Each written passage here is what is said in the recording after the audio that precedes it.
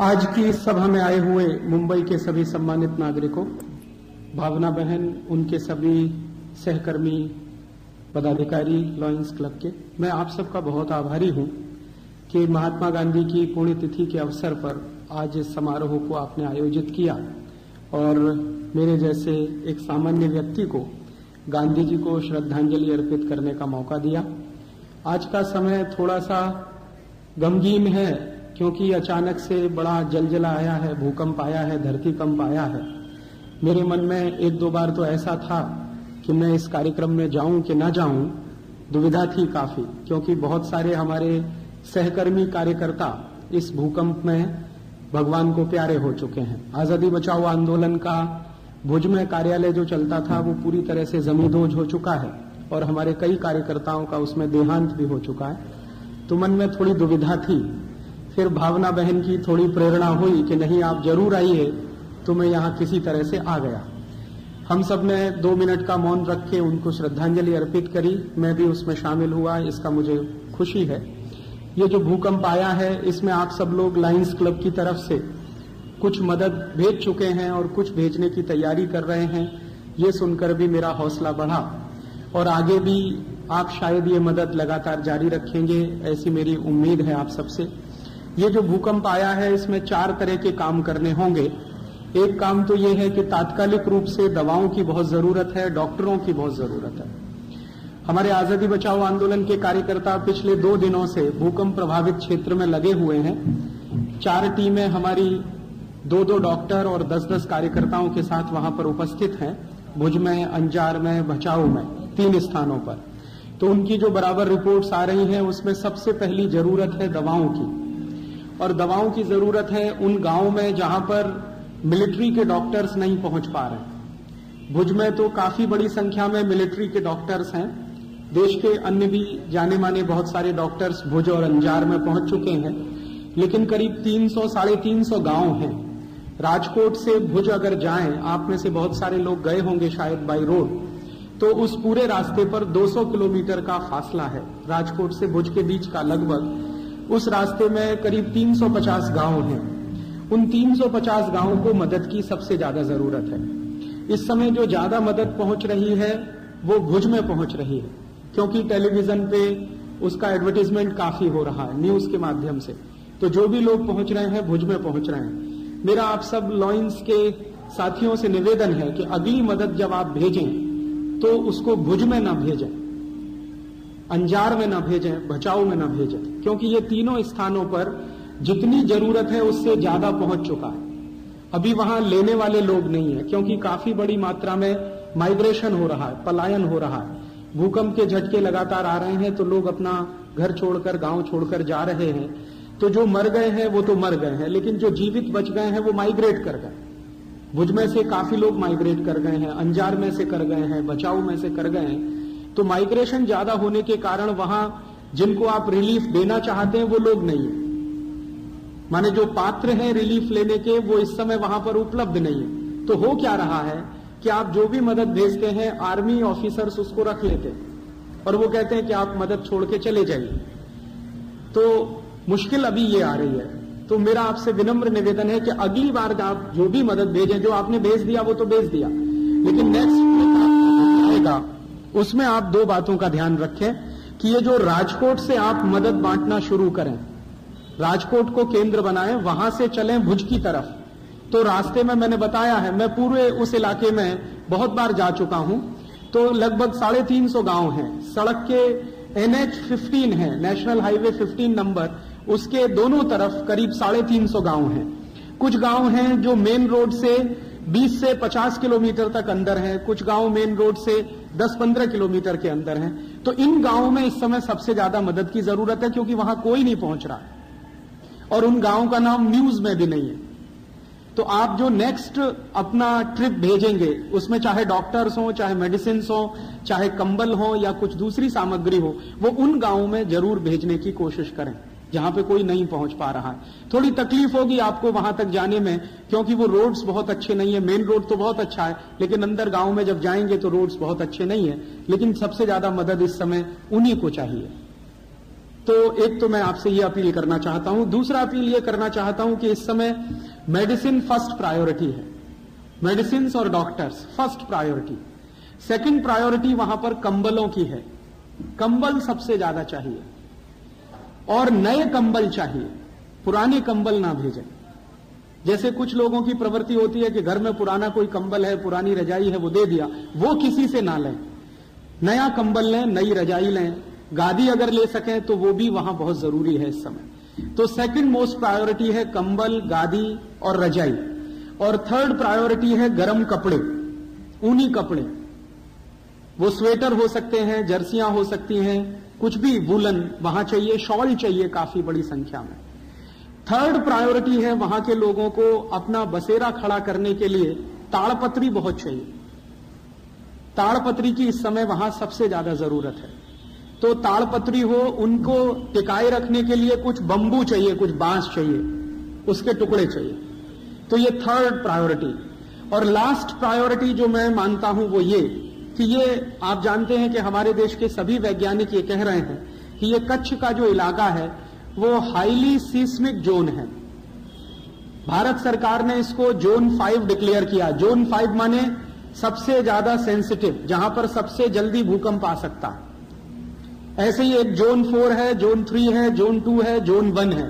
Zone one में क्या आता है? पूरा कर्नाटक कर्नाटक के साथ केरल, ये जोन वन है। जहाँ पर कभी भी भूकंप आने की संभावना सबसे कम है। कर्नाटक जोन टू उससे ज़्यादा सेंसिटिव है। फिर जोन थ्री उससे भी ज़्यादा सेंसिटिव है। जोन फोर उससे भी ज़्यादा और जोन फिफ्थ तो हाईली सेंसिटिव है। तो जोन फिफ्थ में एक तो पूरा कच्छ आता है, गुजरात का कुछ इलाका आता है। फिर उसके अलावा आसाम, नागालैंड, मिजोरम, मणिपुर, त्रिपुरा, ये पूरा का पूरा जो हिमालयन बेल्ट है और उत्तर प्रदेश का इलाका जिसमें उत्तरकाशी, पौड़ी, चमोली, गढ़वाल वगैरह वगैरह। ये जोन फाइव में पूरा आता है। अगर आप भारत का नक्शा देखेंगे तो हिमालय की चोटी से लेकर और इधर पश्चिम की ये जो पूरी बेल्ट है, कच्छ तक की ये बहुत ज़्यादा सेंसिटिव है भूकंप के लिए। तो जो लास्ट ऑपरेशन हमें करना चाहिए, हम सबको मिलकर उसमें आप, हम सब शामिल हों, वो ये कि इस पूरे इलाके में एक बड़े पैमाने पर जन जागरण का काम मास अवेकनिंग काम, वो किस चीज़ के लिए कि घर कैसा बनाएँ, ताकि अगले भूकंप से बचें। मेरा ऐसा मानना है कि लोग भूकंप से नहीं मरते, अपने बनाए हुए घरों से मरते। भूकंप लोगों की जान नहीं लेता कभी भी, लेकिन लोगों ने जो अपना आशियाना बनाया है रहने के लिए, बड़े मन से, बड़े श्रम से, बहुत सारा पैसा लगा के, उसी आशियाने से मरते हैं। मैं कहना यह चाहता हूँ कि ये जो हाईली सीस्मिक जोन होता है, वहाँ पर घर कुछ इस तरह के होने चाहिए, जिनकी छत हल्के से हल्के मटेरियल से बनाई जाए। फाइबर का यूज़ कर सकें, घास फूस का यूज़ कर सकें। वो मिट्टी के जो कवेलू आते हैं टाइल्स आते हैं, जिनको मैंगलोरी टाइल्स आप कहते हैं, उनका यूज़ कर सकें। अगर इन चीज़ों का इस्तेमाल करके अगर उनकी छत बनेगी तो अगले भूकंप में मरने वालों की संख्या सबसे कम होगी। मैंने आपको कहा कि भूकंप तो वहाँ आने ही वाले हैं। उनको आप भी नहीं रोक सकते, मैं भी नहीं रोक सकता। और दुर्भाग्य से इतनी ज़्यादा विज्ञान और तकनीकी प्रगति होने के बाद भी भूकंप की भविष्यवाणी करना बिल्कुल असंभव है। कोई भी वैज्ञानिक ये दावा नहीं कर सकता कि भूकंप इस तारीख को आने वाला है। बारिश की भविष्यवाणी की जा सकती है, गर्मी की भी की जा सकती है, भूकंप की संभव नहीं है। तो भविष्यवाणी करना एकदम असंभव है। और ये हाईली सीस्मिक जोन है, इसलिए बार बार इसमें भूकंप आने ही वाले हैं सालों साल ये चलने वाला है। तो क्यों नहीं हम हमारे लोगों को इस तरीके से ट्रेंड करें, जो उस इलाके में रहते हैं, कि भाई तुम्हारा घर कैसा होना चाहिए? तो इसका एक बड़े पैमाने पर वहाँ कैंपेन हमको चलाना होगा, क्योंकि बिना उसके कोई दूसरा रास्ता है नहीं। अभी तो हम मदद कर रहे हैं रिलीफ दे रहे हैं, ये तो तात्कालिक काम है। लेकिन अगर कोई परमानेंट काम वहाँ पर करना है हमको तो वो ये हो सकता है कि लॉयंस क्लब की मदद से रोटरी क्लब की मदद से, या रोटरेक्ट की मदद से, या इनर व्हील की तरफ़ से, या लॉयनेस की तरफ़ से, या आज़ादी बचाओ आंदोलन जैसे कार्यकर्ता जो लगे हैं पूरे देश में, उनकी मदद से उस पूरे बेल्ट में लोगों के बीच में एक बड़ा कैंपेन इस बात के लिए चले कि आपके जो आशियाने उजड़ गए, ठीक है, हो गया, वो हो गया। अभी आगे अपना घर आप कैसे बनाए? तो उस संदर्भ में मैं मेरे कुछ मित्रों के साथ जो सीस्मोलॉजिस्ट हैं, जो भूकंप के विषय के ज्ञाता हैं और ऊँचे पदों पर भारत सरकार में काम करते हैं, उनमें मेरे एक बहुत नजदीकी मित्र हैं, डॉक्टर नेगी करके। रुड़की में हैं वो, रुड़की यूनिवर्सिटी में सीस्मोलॉजिस्ट के रूप में अपनी सेवाएँ दे रहे हैं भारत सरकार को। उनसे मैंने अपील की है कि एक 25 पन्ने की छोटी सी बुकलेट वो बना रहे हैं। वो बुकलेट पहले वो अंग्रेज़ी में बना रहे हैं, फिर हम उसका हिंदी करने वाले हैं। फिर हिंदी के बाद उसका हम आसामी भाषा में, बंगला भाषा में, और इधर जो नॉर्थ ईस्ट का इलाका है, वहाँ समझे जाने वाली भाषाओं में पूरे बड़े पैमाने पर भाषांतरण करके छपाना चाहते और लाखों की संख्या में बिना किसी शुल्क के लोगों को देना चाहते। अब जैसे कच्छ के एरिया में हम चाहते हैं कि वो गुजराती भाषा में बने, आसाम में आसामी भाषा में बने, ताकि लोगों को अगली बार ये बात की मन में तैयारी रहे कि अपना घर बनाना है तो कैसा बनाना है। तो मैं आपसे जो अपील करना चाहता हूँ, मेरे व्याख्यान के शुरू में वो ये कि ये जो भूकंप आया है, इसमें कुछ मदद तो हम तात्कालिक रूप से करें और कुछ मदद ऐसी करें जो परमानेंट रिलीफ हो, ताकि भविष्य में इस तरह के समाचार सुनने को न मिले कि भूकंप आया और उसमें पचास हज़ार लोग मर गए। आप जानते हैं कि इस भूकंप में पचास हज़ार लोग मर चुके हैं। एक लाख लोग अभी भी मलबे के नीचे दबे हुए हैं, जिनके ज़िंदा बचकर निकलने की अब कोई संभावना नहीं है। माने लगभग डेढ़ लाख लोगों की कुल मृत्यु होगी जब आप इस रिपोर्ट को फाइनल स्टेज में सुनेंगे। भारत में ये जो भूकंप आया है, इससे बड़ा भूकंप एक ही बार आया है, वो चीन में आया था। चीन का भूकंप आज से लगभग 40-45 वर्ष पहले आया था, जिसमें साढ़े आठ लाख लोग मरे थे। तो चीन की सरकार ने जो रिहेबिलिटेशन किया अपने उस इलाके में, उसका मैंने थोड़ा अध्ययन किया है। और उस अध्ययन में से मुझे दो बातें समझ में आई। उन्होंने एक तो तुरंत इमीडिएट करने वाले काम, लोगों को खाना देना, भोजन देना, पानी देना, दवा देना, वगैरह वगैरह। लेकिन जो दूसरा परमानेंट काम उन्होंने किया कि जिस इलाके में भूकंप आया, वहाँ घरों की डिज़ाइन उन्होंने ऐसी करा दी है कि उसी इलाके में बहुत बार बाद में भी भूकंप आया, लेकिन मरने वालों की संख्या पाँच, दस, पंद्रह, बीस ऐसी ही रही है। एक बार भूकंप आया, साढ़े आठ लाख लोग मर गए। उस पर से चीन के लोगों के मन में, ध्यान में आया, सरकार के मन में आया, वैज्ञानिकों को समझ में आया कि अगली बार वहाँ के घरों की डिज़ाइन कुछ ऐसी होनी चाहिए कि वो भूकंप रोधी हो। माने घर गिरे, छत टूटे, मरने वालों की संख्या कम से कम हो। और आप जानते हैं, इसी तरह से जापान नाम का एक देश है, वहाँ तो अक्सर ही भूकंप आते रहते हैं। तो जापान में भी जिस तरीके से घर बनाए जाते हैं, जो टेक्नोलॉजी उसमें इस्तेमाल की जाती है, वो टेक्नोलॉजी शायद हम हमारे देश के लोगों को समझा सकें और बता सकें वो परमानेंट रिलीफ वर्क होगा। शायद उसी का महत्व तो आने वाली पीढ़ियों को समझ में आएगा। तो मैं आपसे ये निवेदन करना चाहता हूँ कि चार तरह की मदद आप वहाँ करें।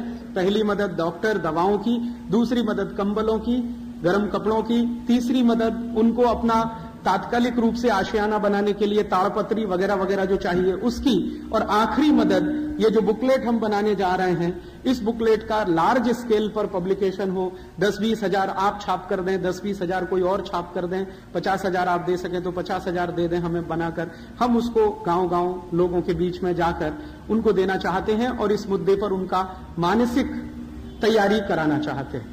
एक आखिरी बात इससे जुड़ी हुई जो कहना चाहता हूँ वो ये कि चीन की सरकार ने जब अपने प्रांत में उनके यहाँ भूकंप आया तो जो भूकंप रोधी घर बनाए, या जापान की सरकारों ने जो अपने यहाँ भूकंप रोधी घर बनाए, उन घरों को बनाने के लिए डिज़ाइन कहाँ से मिला, वो मैं आपको कहना चाहता हूँ।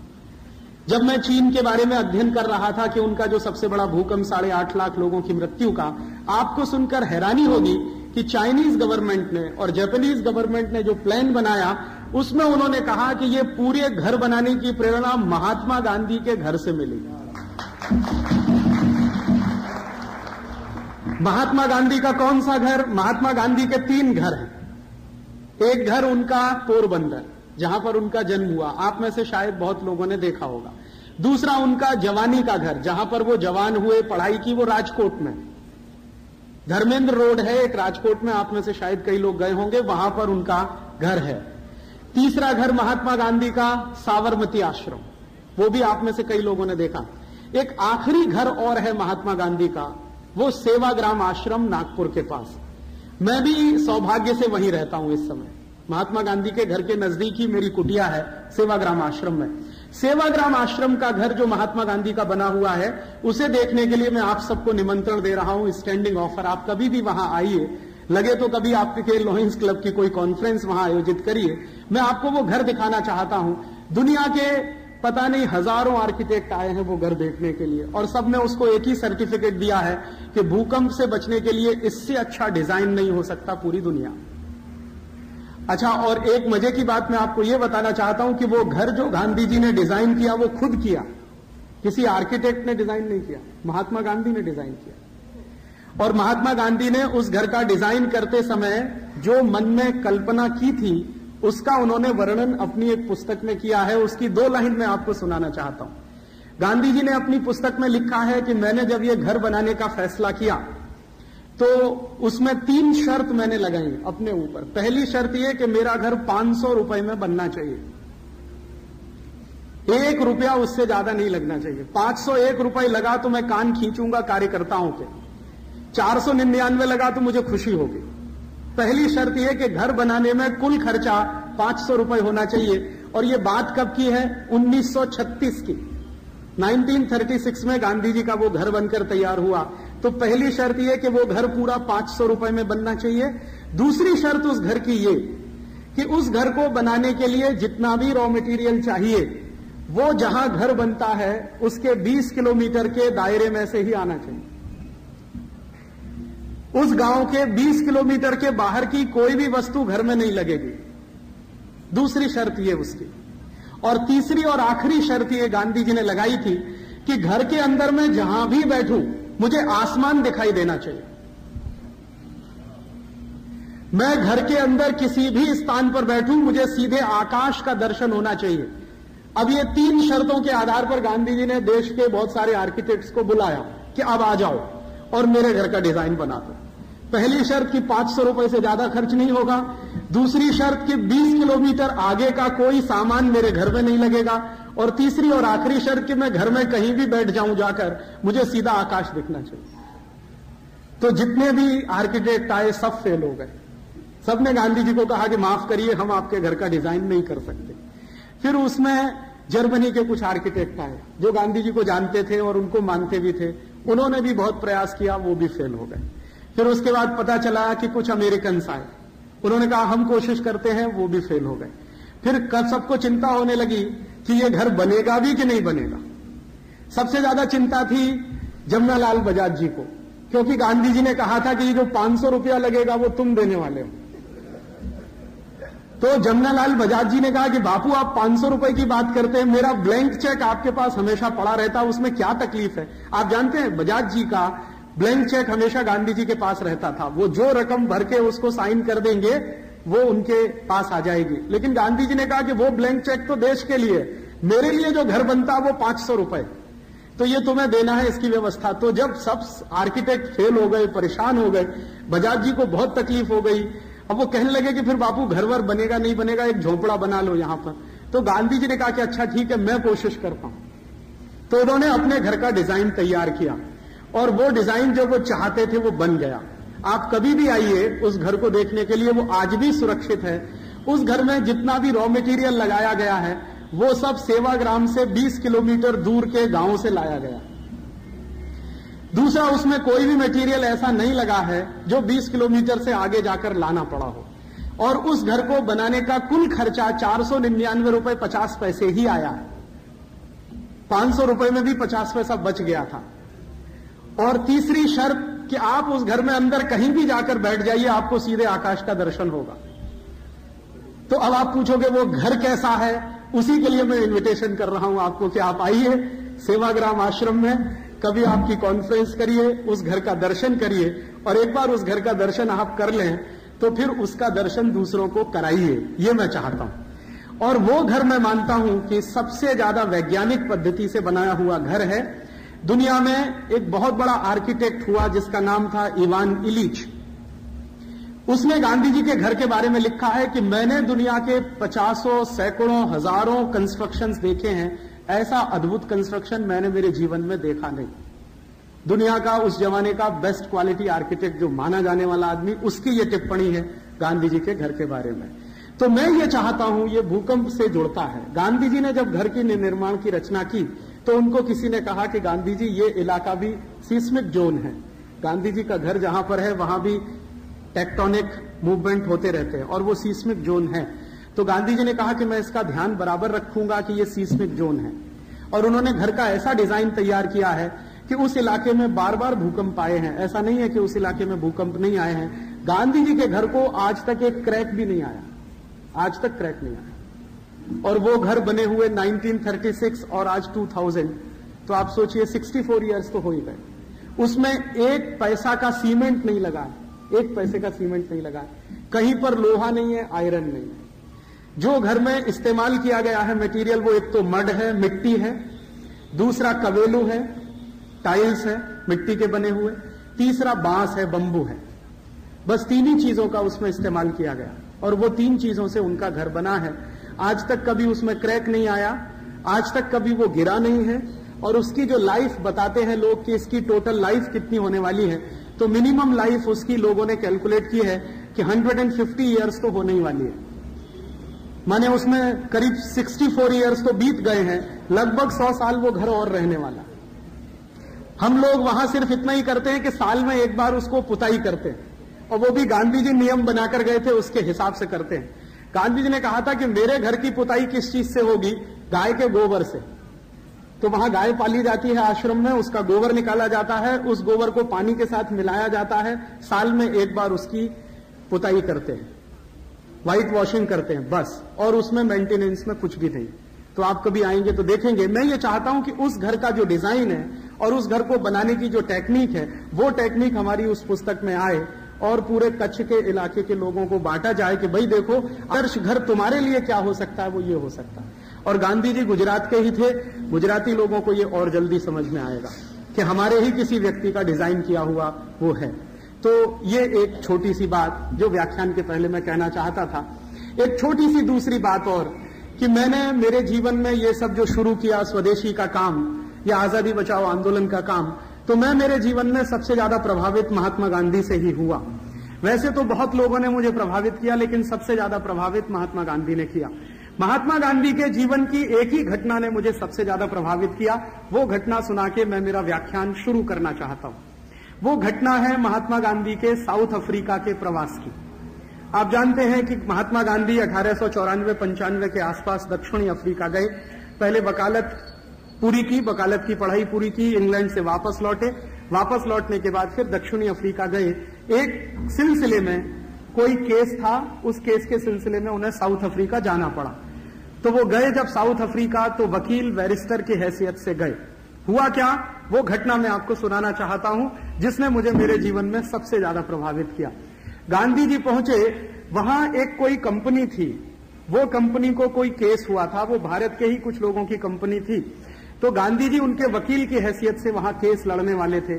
तो गांधी जी जब वहाँ पहुँचे तो उसके पहले जो वकील महोदय थे, जो केस लड़ रहे थे, पहले से ही एक लॉयर थे वहाँ पर। उनके साथ गांधी जी का परिचय हुआ। तो गांधी जी ने पूछा कि मुझे जो केस लड़ना है, उसकी फ़ाइल जरा दे दो तो गांधी जी ने फ़ाइल का अध्ययन किया। फिर उसने कहा कि अदालत कहाँ पर है, वहाँ लेकर जरा चलो। तो गांधी जी की पहली घटना है ये साउथ अफ्रीका की, वो अदालत में पहुँचे। आप जानते हैं कि खांटी गुजराती आदमी और गुजरातियों में भी काठियावाड़ी। तो एकदम शुद्ध काठियावाड़ी आदमी तो आप जानते हैं काठियावाड़ के लोग तो वो पगड़ी बांधते हैं ना? पाँच मीटर लंबा कपड़े की वो पगड़ी बनाते हैं और एक विशेष स्टाइल में उसको बांधा जाता है। तो गांधी जी पगड़ी बांधकर अदालत में पहुँच गए। अब जज ने जब देखा कि पगड़ी बांधे हुए कोई व्यक्ति आके बैठ गया है तो जज ने उनके ऊपर बहुत ज़बरदस्त व्यंग कसा। और उन्होंने कहा कि आपको मालूम है कि अदालत के कानून के अनुसार यहाँ पगड़ी बांधकर आना मना है। अदालत के कानून के अनुसार। तो गांधी जी ने पूछा तो तो जज ने कहा कि आपको ये पगड़ी उतारनी पड़ेगी, तब आप यहाँ बैठ सकते हैं। और बहस कर सकते हैं। तो गांधी जी ने पूछा कि आपको शायद मालूम नहीं है कि ये पगड़ी मेरे शान का प्रतीक है। ये मेरी इज़्ज़त का प्रतीक है। मैं भारत में जिस स्थान से आया हूँ, वहाँ पगड़ी उतारी नहीं जाती। काठियावाड़ भारत का वो स्थान है जहाँ पगड़ी उतारना सबसे बड़ा अपमान माना जाता है और पगड़ी वही उतारता है जो किसी का गुलाम हो जाता। मैं आपका गुलाम नहीं हुआ अभी तक। इसलिए मैं पगड़ी नहीं उतार सकता। जज बौखला गया। क्योंकि इतनी हिम्मत से बात कहने वाला कोई आदमी उसके सामने पहली बार आया। तो उसने पूछा कि ये है कौन? तो बताया गया कि केस के सिलसिले में ये एक लॉयर है जो भारत से आया है। तो उन्होंने कहा कि इसको तमीज सिखानी चाहिए।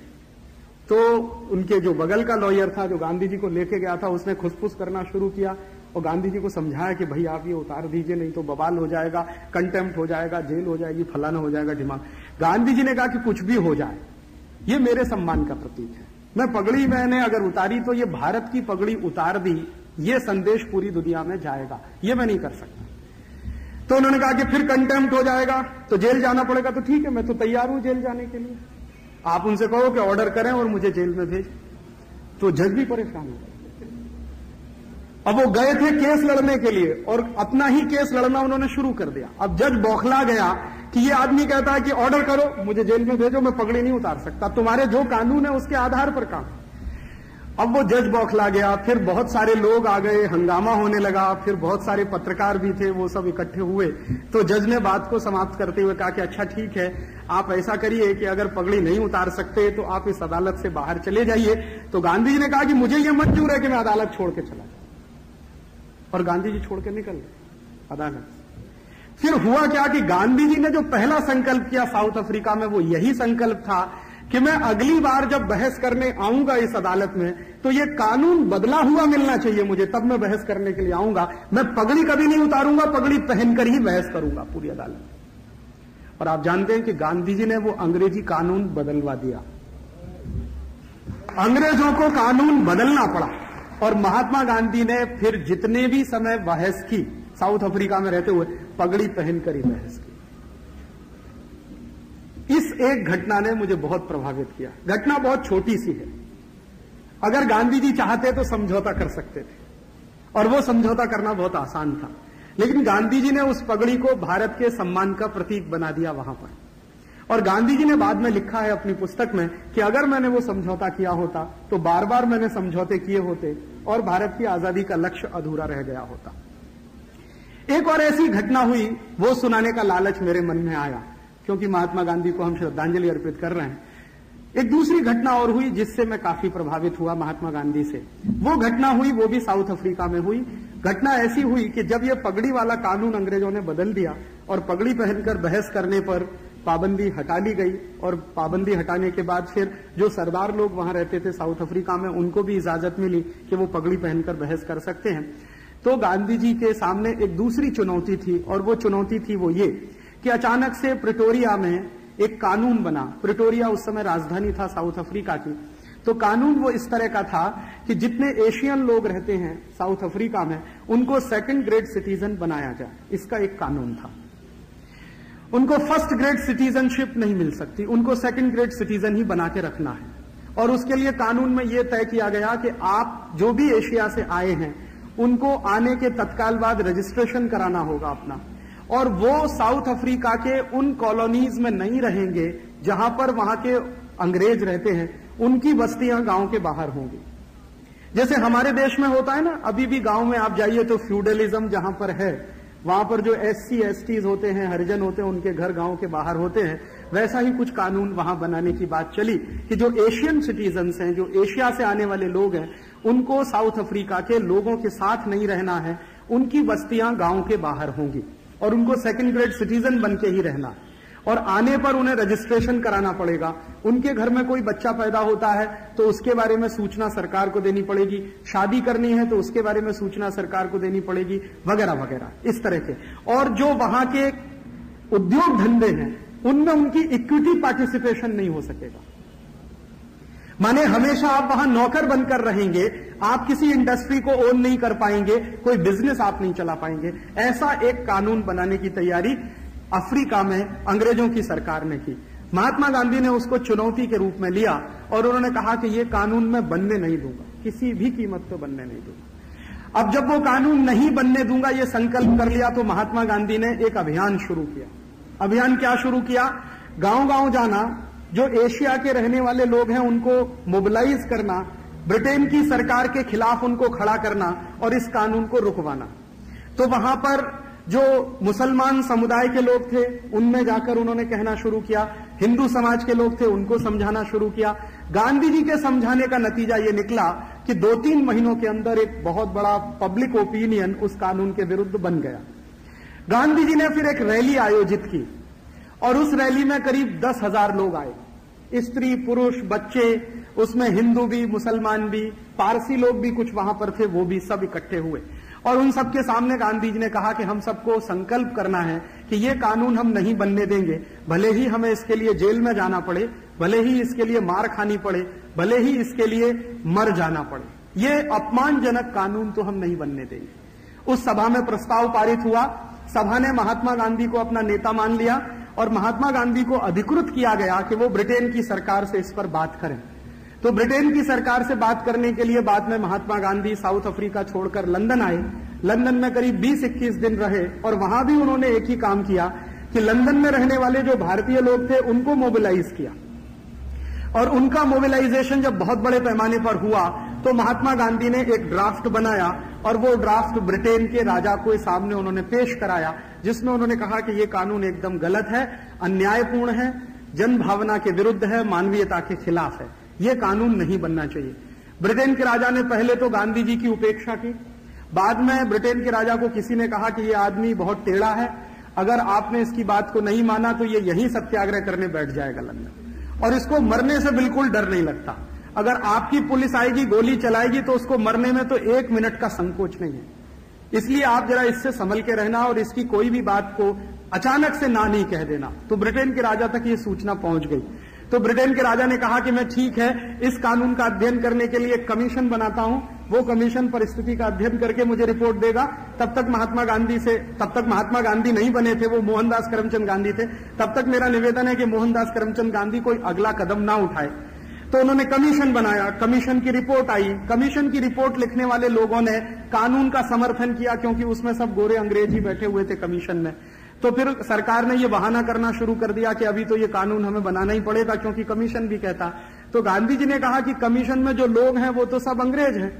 उनको हमारे दर्द का क्या अंदाज़ा? अगर हमारे भारतीय लोग कमीशन में होते और वो रिकमेंडेशन करते तो मैं मानता।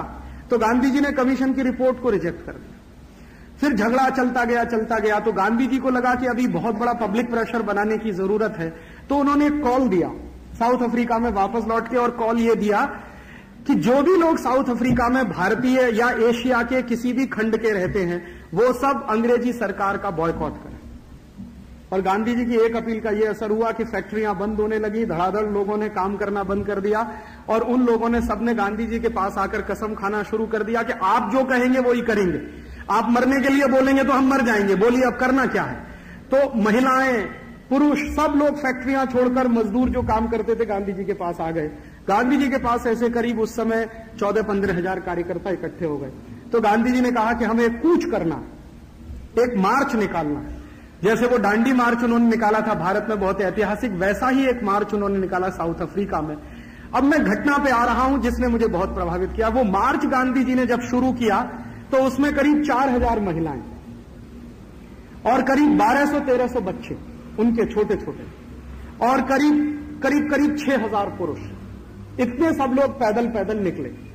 तो कई लोगों ने गांधी जी से कहा कि ये बच्चे बहुत छोटे हैं, अभी क्या करने का इनका? तो उन्होंने कहा, जिनके बच्चे छोटे हैं, वो जुलूस से बाहर निकल जाए।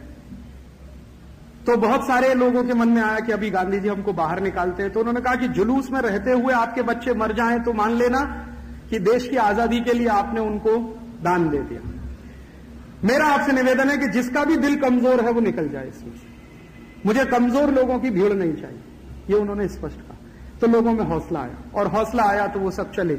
उसी जुलूस में कुछ अंग्रेज़ भी शामिल थे, जो गांधी जी की जासूसी के लिए रखे गए अंग्रेज़ सरकार की तरफ़ और उनकी पूरी रिपोर्टिंग वो लंदन करते थे कि आज जुलूस ने क्या किया। वो पैदल चलते थे, एक जगह से दूसरे जगह जाकर और लोगों को इकट्ठा करते जाते थे। तो जो अंग्रेज़ों ने रिपोर्टिंग किया है, उसमें से एक अंग्रेज़ ऑफिसर था, जो उनकी इंटेलिजेंस की टीम का मुख्य अधिकारी था। उसने गांधी जी के जुलूस के बारे में एक वाक्य लिखा। वो मैं आपको सुनाना चाहता हूँ। उन्होंने कहा कि मैंने, मेरे जीवन में जितनी भी सेवा की है ब्रिटिश गवर्नमेंट की, उसमें ये पहला जुलूस मैं देख रहा हूँ, जिसमें स्त्री पुरुष बच्चे सब एक साथ हैं। हिंदू भी है, मुसलमान भी दोनों एक साथ हैं और दोनों एकदम भाई भाई की तरह से आगे बढ़ रहे हैं। किसी में किसी के प्रति वैमनस्यता नहीं है। हाँ जो एक अच्छी बात है जो मैं देख रहा हूँ वो ये कि ये जुलूस करीब पंद्रह सत्रह दिन चला पैदल पैदल तो होता क्या था कि रात हो जाती थी तो कोई भी मैदान में सब सो जाते थे।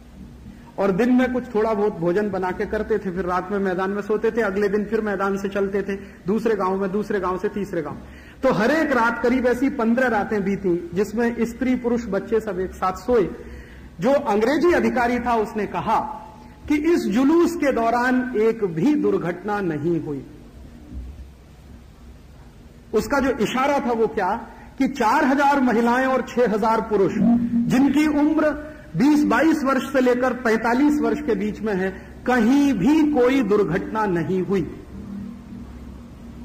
और उसने जब अपनी रिपोर्ट भेजी ब्रिटिश पार्लियामेंट को तो उस रिपोर्ट में उसने लिखा कि जिस आदमी की उपस्थिति मात्र से लोगों के मन में नैतिकता का संचार होने लगता है, वासना पैदा नहीं होती।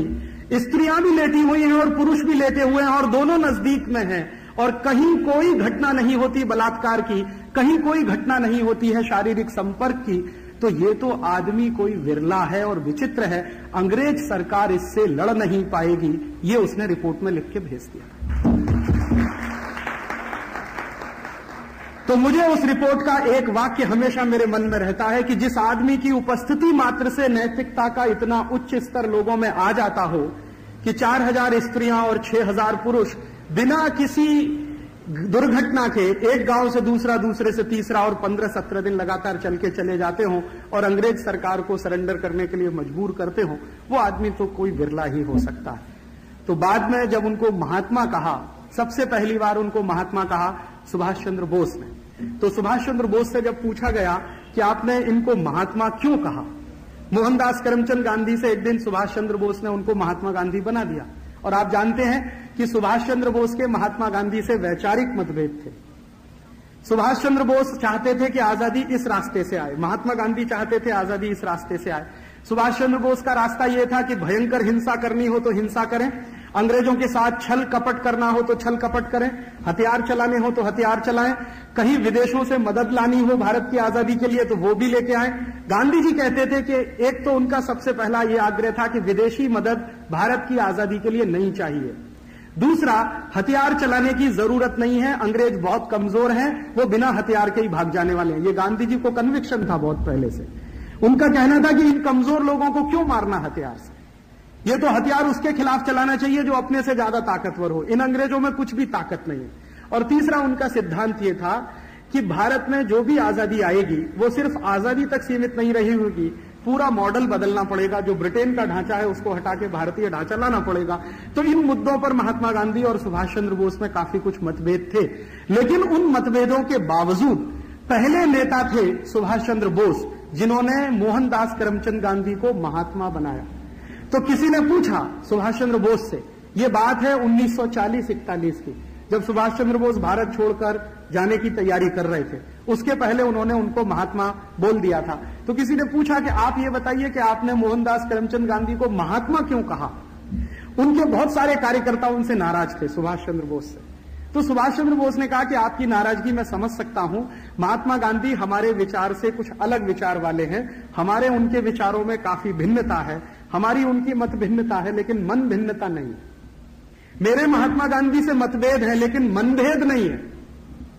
सुभाष चंद्र बोस का जो शब्द था, वो ये था कि मेरे महात्मा गांधी से मतभेद है, मनभेद नहीं है।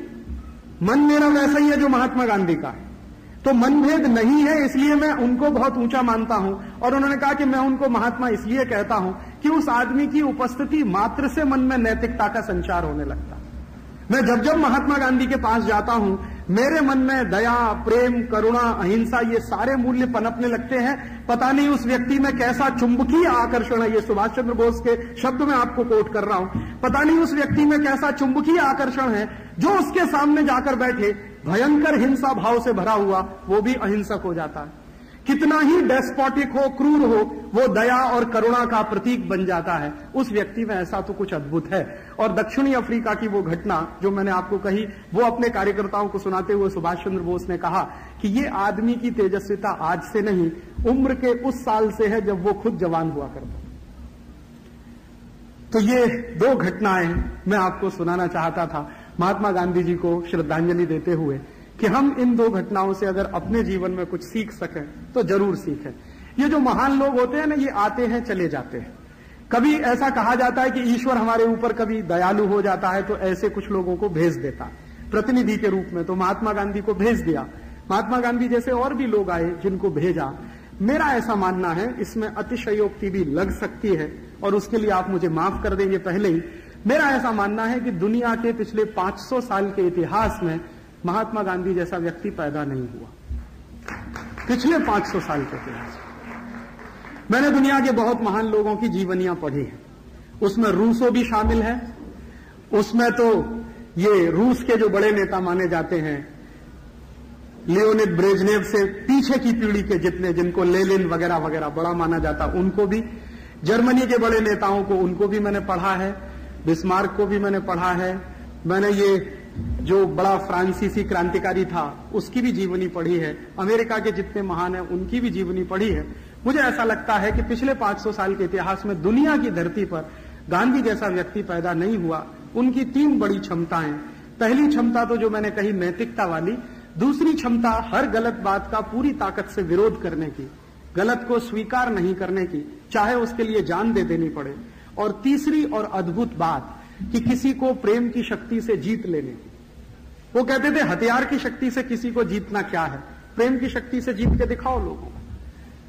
और वो उस मान्यता के पुजारी थे, भारत की उस मान्यता के जो हज़ारों साल से आई है, कि किसी को हथियार की शक्ति से गुलाम बनाने से अच्छा है कि प्रेम की शक्ति से उसको गुलाम बनाओ। तो ये तीन अद्भुत बातें उस व्यक्ति में थी, और एक साथ पूरे व्यक्तित्व में ये सब आया उनके अंदर। तो कुछ उनका कुछ उनकी ग्रोइंग हुई होगी, कुछ उनमें आया होगा। ये तो कुछ विलक्षण ही किस्म की बात हो सकती है, क्योंकि बचपन में जो विद्यार्थी अक्सर फेल होता हो, अंग्रेज़ी में फेल मैथमेटिक्स में फेल आप जाइए राजकोट में, उनकी वो रखी हुई है, वो जो स्कूल है ना गांधी जी जिसमें पढ़े, उस स्कूल में गांधी जी की नोटबुक है जिसपे उनका करेक्शन किया हुआ, वो सब गलत लिख दिया है, उसको क्रॉस कर दिया। अध्यापक ने फेल कर दिया उनको। ये कैसा मूर्ख अध्यापक? उसको फेल करना चाहिए था, पूरी दुनिया को। महात्मा गांधी को फेल किया। तो ठीक है, उससे एक बात समझ में आती है कि साधारण सा बच्चा झूठ भी बोलता है, चोरी भी करता है, कभी सिगरेट भी पी लेता है, कभी जाके मांस भी खाया उन्होंने, ईमानदारी से स्वीकार किया। और एक एक बहुत अंदर की बात जो मैं कहना नहीं चाहता बहुत लोगों से, लेकिन अभी कहना चाहता हूँ मैं, लोगों को पता चले गांधी जी के बारे में तो बहुत सारी मिसअंडरस्टैंडिंग्स हमारे लोगों की खत्म हो जाए। बहुत लोगों ने दुष्प्रचार किया महात्मा गांधी के बारे में, और एक बहुत बड़ा दुष्प्रचार उनके बारे में यह था कि वो हमेशा दो लड़कियों के कंधे पर हाथ रख के चलते थे। हमारे देश में महात्मा गांधी के बारे में दुष्प्रचार करने वालों की तो कोई कमी नहीं है, और वो कमी क्यों नहीं है? क्योंकि सब लोगों को ऐसा लगता है कि गांधी जी को गाली दो तो हम बड़े हो जाएँगे। एक अभी फ़िल्म बनी है, बाबा साहब अंबेडकर पे उसमें जो गालियाँ उनको दी गई हैं, वो भगवान न करे, कोई दूसरा उनको दे। तो आजकल एक फ़ैशन चल गया है गांधी जी को गाली देने का।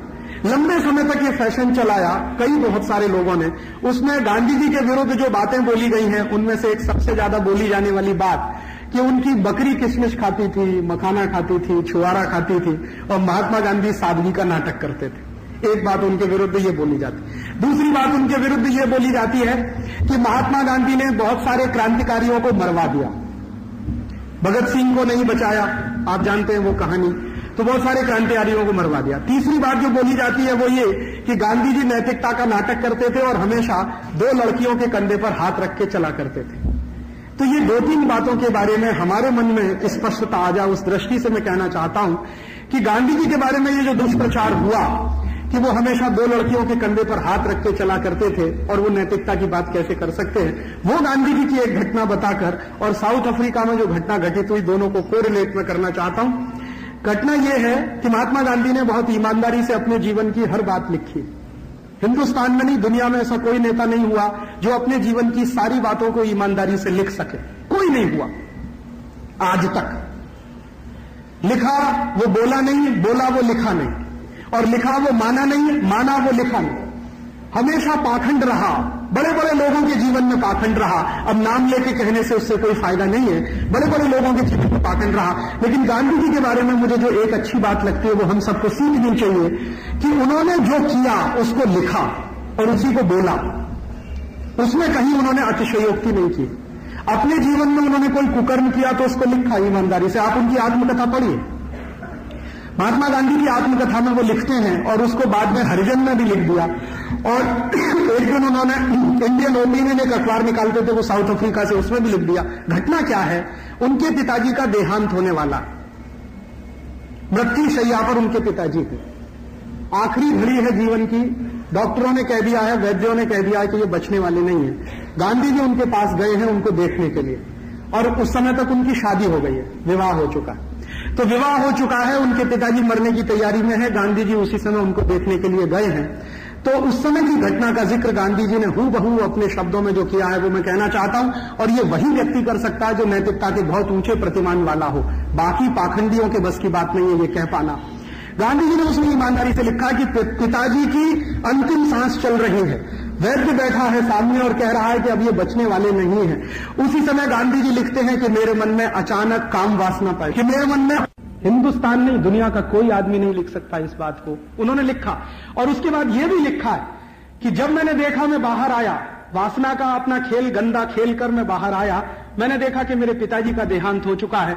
उसी दिन मैंने ब्रह्मचर्य का संकल्प करने का अपने जीवन में तय कर लिया। उसी दिन कि मेरे जीवन के आगे का हिस्सा मैं ब्रह्मचर्य से निभाने की कोशिश करूँगा। और फिर उन्होंने ईमानदारी से लिखा कि उस ब्रह्मचर्य को पालने के लिए मुझे बहुत साल लगे मेरी पत्नी को तैयार करने। लेकिन मैंने अकेले ब्रह्मचर्य का व्रत लेने का फैसला किया था। बाद में मुझे लगा कि ये गलत है, अनैतिक है। तो फिर धीरे धीरे मैंने मानसिकता तैयार की मेरी पत्नी की और एक दिन हम दोनों ने मिलकर संकल्प कर लिया और उससे आज का दिन, जब मैं ये लिख रहा हूँ, आज का दिन, दुनिया का कोई भी व्यक्ति ये बात मेरी पत्नी से पूछ सकता है जाकर। ऐसा आदमी था। और उसके बारे में लोग दुनिया भर में अफवाह उड़ाते हैं कि वो दो लड़कियों के कंधे पे हाथ रख के हमेशा चला करता था। और उसके बारे में दुनिया के लोग बहुत सारी अफवाह उड़ाते हैं कि उसकी बकरी किशमिश खाती थी, बादाम खाती थी, काजू खाती थी, मुनक्का खाती कुछ नहीं खाती थी उनकी बकरी। साधारण घास ही खाती थी। ये जन, सही बात है कि गांधी जी हमेशा बकरी का दूध पीना पसंद करते थे। तो किसी ने पूछा कि आप गो रक्षा की बात करते गांधी जी हमेशा गो रक्षा की बात करते रहे। और एक बार तो उन्होंने एक भाषण में कहा यहाँ मुंबई में। मुंबई के अपने एक भाषण में उन्होंने कहा कि कोई अंग्रेज़ अधिकारी मेरे पास आए और ये कहे कि पहले भारत बचाना है कि गाय बचानी है? तुम दोनों में से तय कर लो कौन सी चीज़ पहले बचानी है? तो मैं भारत को कुर्बान कर सकता हूँ गाय बचाने के लिए। माने मेरे लिए गाय भारत से ज़्यादा प्यारी है। और उन्होंने कहा कि अगर मैंने गाय बचा ली तो भारत तो बच जाने ही वाला। तो इतने ज़्यादा गोरक्षा के समर्थक व्यक्ति थे महात्मा गांधी, लेकिन वो गोरक्षा के समर्थक होने के बावजूद गाय का दूध नहीं पीते थे कभी। तो किसी ने उनसे कहा कि गांधी जी ये जीवन में आपके कॉन्ट्रडिक्शन क्यों है? गाय का दूध आप नहीं पीते हैं, गोरक्षा की बात करते हैं, हमेशा आप बकरी का दूध पीते हैं। तो उसका जवाब बहुत सुंदर उन्होंने दिया और वो लिखा भी है। उन्होंने कहा, देखो, गाय का दूध अमृत है। और बकरी का दूध दवा है। मुझे दवा की ज़रूरत है, अमृत की नहीं है। और आप जानते हैं कि दुनिया के जो वैद्य हैं, ये जो हमारा पूरा का पूरा आयुर्वेद है ना, उसमें जो बकरी का दूध है, वो ट्यूबरकुलोसिस की सबसे अच्छी मेडिसिन मानी जाती है। अगर कोई टीबी का भयंकर मरीज़ हो और वो किसी भी स्थिति में ठीक होने की संभावना नहीं रखता हो, उसको सिर्फ़ इतना ही किया जाए कि खाली खाली पेट सुबह सुबह आधा कप रोज बकरी का दूध पिला दिया जाए। तीन महीने में उसका ट्यूबरकुलोसिस ठीक होने की गारंटी। इतना अच्छी गुणवत्ता वाला है बकरी का दूध। तो गांधी जी ने कहा कि मुझे कमज़ोरी रहती है हमेशा शरीर में। आप जानते हैं कि उनका शरीर कैसा था। कृष का एकदम शरीर था। तो गांधी जी ने कहा कि मुझे कई तरह की बीमारियाँ हैं, उनको मैं जानता हूँ। और उन बीमारियों को ठीक करने के लिए बकरी का दूध ही मुझे लगता है। बाकी कोई दवा मैं कभी लेता नहीं। वो सच में कोई दवा नहीं खाते थे और किसी को देते भी नहीं थे अपने हाथ से। तो बाकी मैं कोई दवा लेता नहीं हूँ, सिर्फ़ बकरी का दूध ही मेरे लिए दवा है। इसलिए मैं गाय का दूध न पीकर बकरी का दूध पीता हूँ ताकि मैं ज़िंदा रहूँ और हिंदुस्तान की आज़ादी लाने का काम सतत रूप से करता रहूँ। गाय का दूध को मैं अमृत मानता हूँ, और अमृत तब दिया जाता है जब कोई अमर होने की आकांक्षा लेकर आता। मैं अमर होने की आकांक्षा लेकर नहीं आया। मैं तो साधारण सा एक काम करने आया, भारत की आज़ादी लाने का। उसी काम को करते करते मैं मर जाऊँ, ये मेरे जीवन की तमन्ना है। अंतिम दो दिन पहले उन्होंने एक वक्तव्य किया था, शायद बड़े लोगों को आभास हो जाता है। 28 जनवरी 1948 को उन्होंने दिल्ली में कहा प्रार्थना सभा में कि अगर कोई पागल आदमी सामने से आकर भी मुझे गोली मारेगा तो मैं ईश्वर से यही प्रार्थना करूँगा कि आप उसको सद्बुद्धि दो। भगवान उसको सद्बुद्धि दे। और वही उन्होंने किया। अभी बहुत सारे लोगों ने यह बहस करना शुरू कर दिया कि महात्मा गांधी ने मरने के पहले हे राम कहा था या हाय राम कहा था। हमारे कितने कूड़ मगज लोग हैं इस देश में, कितने निम्न स्तर के लोग हैं इस देश में, जो बहस चला रहे हैं इस बात पर कि गांधी जी को जब गोली लगी तो उन्होंने हे राम कहा या हाय राम कहा। इसी में लगे हुए हैं बहस करने में। उन्होंने बहुत कुछ कहा है। उस पर किसी का ध्यान नहीं है। बहुत कुछ किया है, उस पर किसी का ध्यान नहीं है। हे राम कहा कि हाय राम कहा। इसी में बहुत लोग लगे बहुत सारे संगठन हैं जिन्होंने बाकायदा लिटरेचर बनाया है उस पर, और वो लिटरेचर पूरे देश में बांटा जाता है। और एक खास तरह की मानसिकता तैयार की जाती है गांधी जी को गाली देने की। तो मेरा आपसे एक ही विनम्र निवेदन है और वो मैं शायद मेरे कन्विक्शन से कह रहा हूँ। पिछले 10-12 साल गांधी जी को मैंने बहुत पढ़ा और उनके तरह से जीने की कोशिश भी कर रहा हूँ। उनके तरह से जीने की जो एक कोशिश मैंने की है, ईमानदारी से उसको मैं आपसे शेयर करना चाहता हूँ। मैंने आज तक मेरा पर्सनल बैंक अकाउंट नहीं बनाया और आगे बनाने की संभावना नहीं। मैंने आज तक मेरा कोई घर नहीं बसाया। आज भी मैं ब्रह्मचारी हूँ और ब्रह्मचर्य का पालन करता हूँ। और आगे भी करता रहूँगा, ऐसा मेरा संकल्प है मेरे मन का। और तीसरा, कोई पारिवारिक संपत्ति में हिस्सा नहीं रखा। मेरे पिता और माता को मैंने बिल्कुल स्पष्ट कह दिया है कि परिवार की संपत्ति में मेरी कोई हिस्सेदारी नहीं होगी आपको जो करना है, आप उसको कहिए। या करते, उसको चाहे तो दान कर दीजिए मेरे नाम से किसी को। लेकिन इतना भी मुझे लगता है करने में बहुत तकलीफ़ आती है। बहुत तकलीफ़ आती है। तो गांधी जी ने पता नहीं कितनी तकलीफें झेली होंगी। उन्होंने तो पता नहीं कितने साल ये सब किया। मुझे तो लगता है कि मेरे लिए बहुत आसान है ब्रह्मचर्य पालन करना, क्योंकि मैंने परिवार नहीं बनाया। उन्होंने तो परिवार बनाकर ब्रह्मचर्य पालन किया। वो तो बड़ी बात है। वो आसान व्यक्ति के लिए नहीं है। परिवार में रहते हुए ब्रह्मचर्य का पालन करना और उस ऊंचाई तक जाना, जिस ऊंचाई की बात उन्होंने अपनी आत्मकथा में लिखी है कि वो जीवन का आखिरी दिन था जब पिताजी की मृत्यु के समय उन्होंने अपनी पत्नी के साथ संभोग किया। उसके बाद उन्होंने लिखा है कि मैं मेरी पत्नी के साथ भाई बहन के रिश्ते रहे। और उन्होंने कहा कि जीवन में ऊंचाई तभी आएगी जब सही मायने में कोई पति पत्नी भाई बहन की तरह से रहना शुरू कर दे। वो कहते हैं कि ये जीवन का आखिरी वो होगा, मुकाम। तो किसी व्यक्ति को कितना ऊँचा बनना चाहिए अपने जीवन में, उसके लिए उन्होंने एक सीमा रेखा बना दिया। वो सीमा रेखा का पालन उन्होंने किया। परिवार बसाते हुए, घर चलाते हुए, बच्चों को पालते हुए, वो अद्भुत ही लोग कर सकते हैं, बिरले लोग कर सकते हैं, वैसे वो थे। और उन्होंने जो किया है, वो हम सबके सामने है, जो कहा है वो भी है, और जो लिखा है वो भी है। उनके कहे हुए को, उनके किए हुए को, और उनके बोले हुए को, अगर हम अपने जीवन में दशमांश भी, माने टेंथ, वन टेंथ भी अगर हम उतार सके तो भारत में बहुत कुछ बेहतर होने की संभावना और शक्यता है। इतना गांधी जी को श्रद्धांजलि स्वरूप में कहना चाहता था। और एक छोटी सी आखिरी बात जो मैं आज के समय में कहना चाहता हूँ गांधी जी ने अपने जीवन में ग्यारह व्रत दिए लोगों को। अहिंसा, सत्य, अस्त्य, ब्रह्मचर्य, असंग्रह वगैरह वगैरह। आपने पढ़े होंगे बार बार सुने भी होंगे। उन व्रतों के बारे में गांधी जी ने लोगों से कहा है कि मेरी आपसे ये विनंती है कि भारत में जो व्रत मनाए जाते हैं, त्योहार मनाए जाते हैं, उनमें सोमवार का व्रत हो जाता है, कभी बृहस्पतिवार का हो जाता है, कभी मंगलवार का हो जाता है। मंगलवार को हनुमान जी का है, सोमवार को शंकर जी का है, वगैरह वगैरह। उन व्रतों के बारे में गांधी ने कहा कि ये जो कर रहे हैं, वो आप करिए। आपकी धार्मिक मान्यताओं के लिए मैं मेरी तरफ़ से कुछ नहीं कहना चाहता और उसमें हस्तक्षेप भी नहीं करना चाहता। लेकिन उन्होंने कहा है कि व्रत अगर आप कर सकें तो देश के लिए भी करिए। एक तो हम व्रत करते हैं मोक्ष के लिए, कि हमें मोक्ष मिल जाए। हमारे जीवन में एक मान्यता हमने रखी हुई है, और वो मान्यता ये है, आप जितने भी लोग यहाँ बैठे हैं, आपके साथ मैं भी इसमें शामिल हूँ, हम सबकी मान्यता ये है कि पुनर्जन्म होता है। बार बार जन्म होता है। व्यक्ति बार बार जन्म लेता है।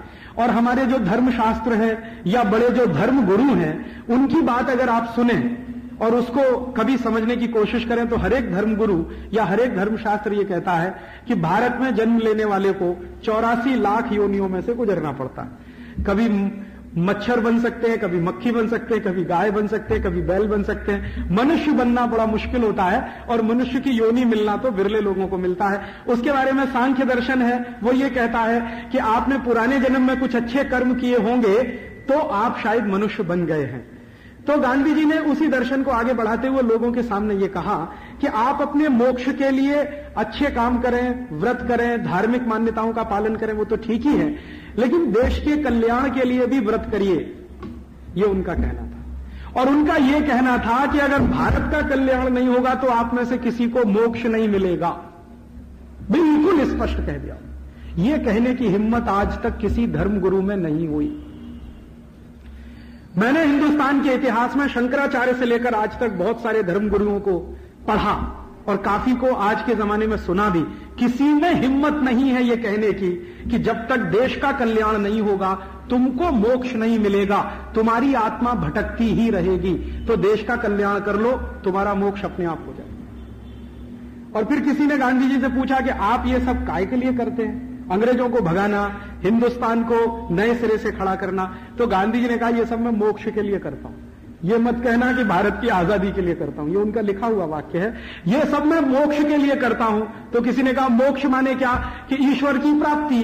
तो ईश्वर की प्राप्ति के लिए मैंने ये तय किया है मेरा रास्ता। तो उन्होंने कहा कि इससे ईश्वर की प्राप्ति कैसे होगी? तो वो सुनाने लगे, देखो, भारत आज़ाद हो जाएगा। आज़ाद होने के बाद खुशहाल हो जाएगा। गरीबी खत्म हो जाएगी, बेकारी खत्म हो जाएगी, भूखमरी खत्म हो जाएगी। अन्याय नहीं होगा। हर व्यक्ति को सम्मानजनक जीवन बिताने का अधिकार मिलेगा। ये सब जब हो जाएगा तो मुझे मोक्ष मिल जाएगा। अब आप देखिए, इतना बड़ा योगी आदमी किस बात की कल्पना करता है? हम लोग कल्पना करते हैं ना, मोक्ष उन्हीं को सिद्ध होता है जो योगी होते हैं। और योगी कौन होता है जो अपने को दूसरों से ऊपर उठा लेता है? लेकिन गांधी जी कह रहे हैं कि मैं अकेला ऊपर नहीं उठूँगा, ये सबको अपने साथ ऊपर उठाऊँगा, तब मुझे मोक्ष मिलेगा।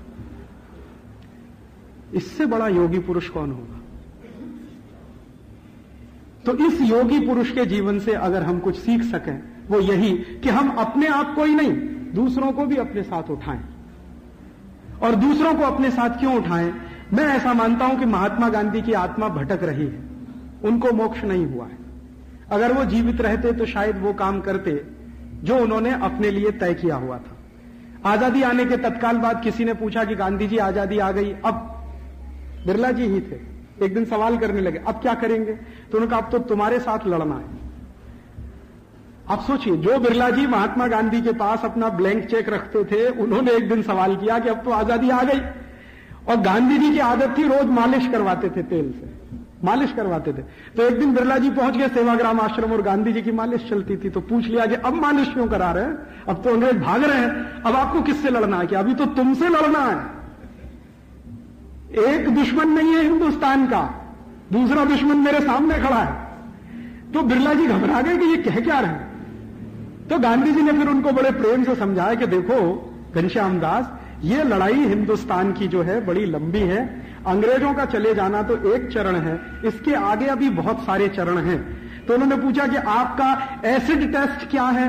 तो उन्होंने कहा कि देखो, जब अंतिम आदमी हिंदुस्तान का ये कहने लगेगा कि मैं आनंद में हूँ, खुशी में हूँ तो मैं मान लूँगा कि हिंदुस्तान की आज़ादी की लड़ाई पूरी हो गई यही मेरा एसिड टेस्ट है।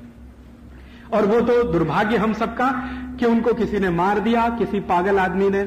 मैं तो कहता हूँ कि जिस आदमी ने गांधी जी को मारा था अच्छा ये होता कि वो महात्मा गांधी के सामने जाकर खुद को गोली मार लेता। वो उसके लिए बेहतर होता। उसने बजाय गांधी जी को गोली मारने के अपने को गोली मार लेनी चाहिए थी। वो उसके लिए ज़्यादा बेहतर होता, लेकिन खैर ठीक है, दुर्घटनाएँ होती रहती हैं। और आगे भी होती रहेंगी, उसके लिए कभी अफसोस नहीं करना चाहिए। हमें यह भी अफसोस नहीं करना चाहिए कि गांधी जी हमारे बीच में नहीं है, क्योंकि वो हमेशा लोगों से ये कहते थे, कार्यकर्ताओं से कि मैं रहूँ ना रहूँ, मेरा जीवन तुम्हारे लिए संदेश की तरह से है पूरा। मैंने मेरे जीवन भर जो किया, वो आपके लिए संदेश जैसा है। तो गांधी जी के संदेश का अगर हम थोड़ा सा विश्लेषण करें और आज की परिस्थिति को देखने की कोशिश करें तो मैं ऐसा मानता हूँ कि उनको अभी मोक्ष नहीं मिला है। उनकी आत्मा कहीं ना कहीं भटक रही है। उसके तीन बड़े कारण हैं कि उन्होंने जब ये कहा था कि भारत का जब अंतिम व्यक्ति आनंद में रहेगा, खुशी में रहेगा तो मैं मान लूँगा कि सारे काम पूरे हो गए हैं। वो अंतिम व्यक्ति अभी भी बहुत कुछ चीज़ों से वंचित है। भारत की इस समय आज़ादी एक करोड़ से थोड़ी ऊपर हो चुकी है। और एक, सॉरी, सौ करोड़ से ऊपर हो चुकी है। एक अरब एक अरब से थोड़ी ऊपर हो चुकी है, सौ करोड़ से ऊपर हो चुकी है। अब ये सौ करोड़ की आबादी का जरा क्लेसिफिकेशन करें, वर्गीकरण करें तो क्या चित्र है? चित्र ये है कि हिंदुस्तान के सौ करोड़ की आबादी में करीब 25 करोड़ लोग ऐसे हैं, जिनके पास एक दिन में प्रति व्यक्ति खर्च करने के लिए पाँच रुपया नहीं है। 25 करोड़ लोग ऐसे भारत सरकार के नेशनल सैंपल सर्वे की रिपोर्ट के अनुसार प्रति व्यक्ति पाँच रुपए नहीं रखते, एक दिन में खर्च करने की हैसियत ऐसे 25 करोड़ लोग हैं। पंद्रह करोड़ लोग ऐसे हैं हमारे देश में, जिनके पास प्रति व्यक्ति एक दिन में खर्च करने के लिए एक रुपया नहीं। पंद्रह करोड़ लोग ऐसे और करीब करीब दस करोड़ लोग ऐसे हैं इस समय भारत देश में, जिनके पास प्रति व्यक्ति एक दिन में खर्च करने के लिए पचास पैसा नहीं। पच्चीस करोड़ लोगों के पास प्रति व्यक्ति एक दिन में खर्च करने के लिए पाँच रुपया नहीं है। दस करोड़ लोगों के पास प्रति व्यक्ति एक दिन में खर्च करने के लिए पचास पैसा नहीं है और पंद्रह करोड़ लोगों के पास प्रति व्यक्ति एक दिन में खर्च करने के लिए एक रुपया नहीं। अब पच्चीस और पंद्रह चालीस और दस पचास। पचास करोड़ की हमारी बस्ती ऐसी है जिसको न्यूनतम जरूरतें पूरी करने की कोई व्यवस्था नहीं इसी देश में जहाँ हम रहते हैं और इनमें ये जो पचास करोड़ लोग हैं, जिस तरह से जीवन बिताते हैं, वो किस तरह का जीवन है? मैं आपको दो तीन घटनाएँ सुनाना चाहता हूँ। मैं पूरे देश में घूमता हूँ। देश का ऐसा कोई हिस्सा नहीं जहाँ मैं नहीं गया। थोड़े समय पहले मैं उड़ीसा में घूम रहा था। उड़ीसा में एक गाँव है, उसका नाम है भवानी पट्टनम वो गाँव जो है डिस्ट्रिक्ट सेंटर है, कालाहांडी ज़िले का। कालाहांडी नाम का जिला है, भवानीपट्टनम नाम का गाँव है। वहाँ मैं एक बार गया। उस गाँव को जाते समय सड़क के किनारे से जब मैं गाड़ी से जा रहा था तो मैंने दो तीन स्थानों पर बाज़ार देखा, जहाँ पर बच्चे बिकने के लिए बैठे थे। बच्चों को बेचने के लिए बाज़ार लगते हैं वहाँ। और बच्चों को बेचा जाता है उसी तरह से जैसे का बेचा जाता है, टमेटा बेचा जाता है, बैंगन बेचा जाता है। और जिन बच्चों को मैंने बिकते हुए देखा मेरी आँखों से, उनके गले में एक तख्ती लटकी हुई थी। उस पर रेट लिखा हुआ था। जैसे लड़का खरीदना है, दस साल से ऊपर का है तो उसका रेट है पचास रुपया। और लड़की खरीदनी है, पंद्रह साल से ऊपर है तो उसका रेट है पैंतीस रुपया। पैंतीस रुपए में पंद्रह साल से उम्र के ऊपर की लड़की आपको खरीदने में मिल जाएगी, पचास रुपए में दस साल से ऊपर का लड़का मिल जाएगा। जिन स्थानों पर मैंने ये बाज़ार लगे हुए देखे, वहाँ पर मैंने मेरी गाड़ी रुकवाई और उनको कहा कि भाई ये क्या है? तो उन्होंने कहा, ये बच्चे बिकने के लिए आते हैं यहाँ, अक्सर इस तरह के बाज़ार लगते हैं। तो मैंने पूछा, साल में कितनी बार लगते हैं? उन्होंने कहा, आप साल की बात कर रहे हैं, महीने में पूछिए। मैं सोचता था कि कभी साल में एक आध बार होता होगा। उन्होंने कहा, नहीं, महीने में पूछिए, कितनी बार लगते हैं। अब मुझे क्या हुआ कि एक माँ बाप जो अपने बच्चे को बेचने के लिए बैठे थे, प्रतीक्षा करते थे बाजू में, बच्चे के गले में तख्ती लटकी थी, पचपन रुपए का उसका रेट था तेरह चौदह साल का लड़का था। मैंने उसके बाप को जाके पूछा, मेरे साथ एक कार्यकर्ता था जो उड़िया भाषा जानता है। तो मैंने उसको कहा, इसको उड़िया भाषा में पूछो कि ये अपने बच्चे को क्यों बेचना चाहता है? तो उसने पूछा तो उसके बाप ने जवाब दिया कि मेरे घर में खाने को दो समय रोटी नहीं है, इसको मैं क्या खिलाऊं? तो मैं इसको इसलिए बेचना चाहता हूँ कि कोई अमीर आदमी इसको खरीद ले जाए, कम से कम खाने के लिए तो रोज देगा इसको। भले ही वो इसको गुलाम बनाकर रखे, इससे मुझे कोई चिंता नहीं, लेकिन ये ले जाए मेरे घर में से ऐसी स्थिति के वहाँ माँ बाप है। मेरे जीवन में बहुत बड़ा धक्का उस दिन आया, जब मैंने ये दृश्य मेरी आँखों से देखा। किसी तरह मैं भवानीपट्टनम पहुँचा जल्दी जल्दी मीटिंग खत्म करके उस दिन मेरा दिल नहीं था भाषण देने में, किसी तरह भाषण पूरा किया, वहाँ एक दूसरा दृश्य देखा मैंने। मेरे भाषण को सुनने के लिए बहुत सारे लोग आए थे करीब करीब 1200 1300 लोग आए थे। अब वो जो लोग सुनने के लिए आए थे, उनमें से कुछ लोग तो आपकी तरह से सामने आकर बैठे थे। लेकिन बहुत सारे ऐसे लोग थे जो मेरा व्याख्यान सुनना चाहते थे, लेकिन झाड़ के पीछे खड़े हुए थे। कुछ जहाँ व्याख्यान स्थल था, वहाँ पे आजू बाजू में लिमड़ा के झाड़ लगे हुए थे तो वहाँ वो खड़े हुए थे उसके पीछे। मैंने आयोजक को कहा कि देखो भाई, ये जो पीछे खड़े हुए लोग हैं झाड़ के, इनको सामने लाके बिठाओ ना। ये पीछे क्यों खड़े हैं? जो सब लोग बैठे हैं, वो भी आके बैठे हैं। तो उसमें से एक ने कहा कि राजीव भाई, वो आपके सामने नहीं आ सकते। मैंने पूछा, क्यों नहीं आ सकते? तो उसने कहा, उनके शरीर पर इतने कपड़े नहीं है कि वो आपके सामने आकर बैठ सके। दूसरा धक्का उस दिन मुझे तब लगा। फिर मैंने मेरे कार्यकर्ता को कहा, जिसने ये आयोजन किया था कि भाई तुम कुछ ऐसी व्यवस्था करो कि मैं भवानीपट्टनम के आसपास के 10-20 गाँव देखना चाहता हूँ। और गरीबी क्या है उसका मैं दर्शन करना चाहता हूँ। महात्मा गांधी जिस अंतिम व्यक्ति की बात कहा करते थे, भारत में उसको उच्च स्थान मिलना चाहिए, वो अंतिम व्यक्ति किस स्थिति में रहता है वो जरा मैं देखना चाहता हूँ मेरी आँखों से। शायद मुझे उसमें से कुछ प्रेरणा मिले। तो मेरे कार्यकर्ताओं ने मेरे दो तीन प्रोग्राम कैंसिल करके मुझे गाँव में घुमाना शुरू किया। तो भवानीपट्टनम से करीब 30 किलोमीटर दूर में एक गाँव में गया। और उस गाँव में जाने के बाद मैं ये देखने लगा कि कौन सा घर ऐसा है जो अच्छे तरीके से बनाया गया है। तो एक भी घर मैंने ऐसा नहीं देखा मेरी आँखों से जहाँ लकड़ी का कोई दरवाज़ा लगा हो। और एक भी घर ऐसा नहीं था जहाँ कोई छत रखने के लिए कुछ व्यवस्थित कुछ किया गया हो। छत भी क्या है? वो जो धान की फ़सल होती है, पैडी जब पैदा होता है तो पैडी को पैदा होने के बाद जब फ़सल पक जाती है उसमें से धान तोड़ के निकाल लिया जाता है, उसका जो फूस बचता है, भूसा बचता है, उसको डाल के तो छत बनी हुई है। और उसमें कुछ डंडे वंडे लगे हुए बस यही छत है, दरवाज़ा है नहीं। और कोई भी घर मैंने ऐसा नहीं देखा जो 10 फीट बाई 15 फीट से ज़्यादा का हो। एक घर का जो मैक्सिमम एरिया है, वो 150 स्क्वायर फीट। और उसमें पाँच लोगों का परिवार, सात लोगों का परिवार रहता है।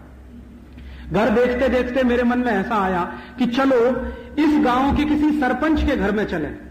शायद उसका घर कुछ अच्छा हो देखने लायक हो। क्योंकि मेरे मन में ऐसी कल्पना थी कि जो गाँव का सरपंच होता है वो पैसे वाला होता है कुछ तो उसके पास पैसा होता ही है अच्छा घर बना के रहता।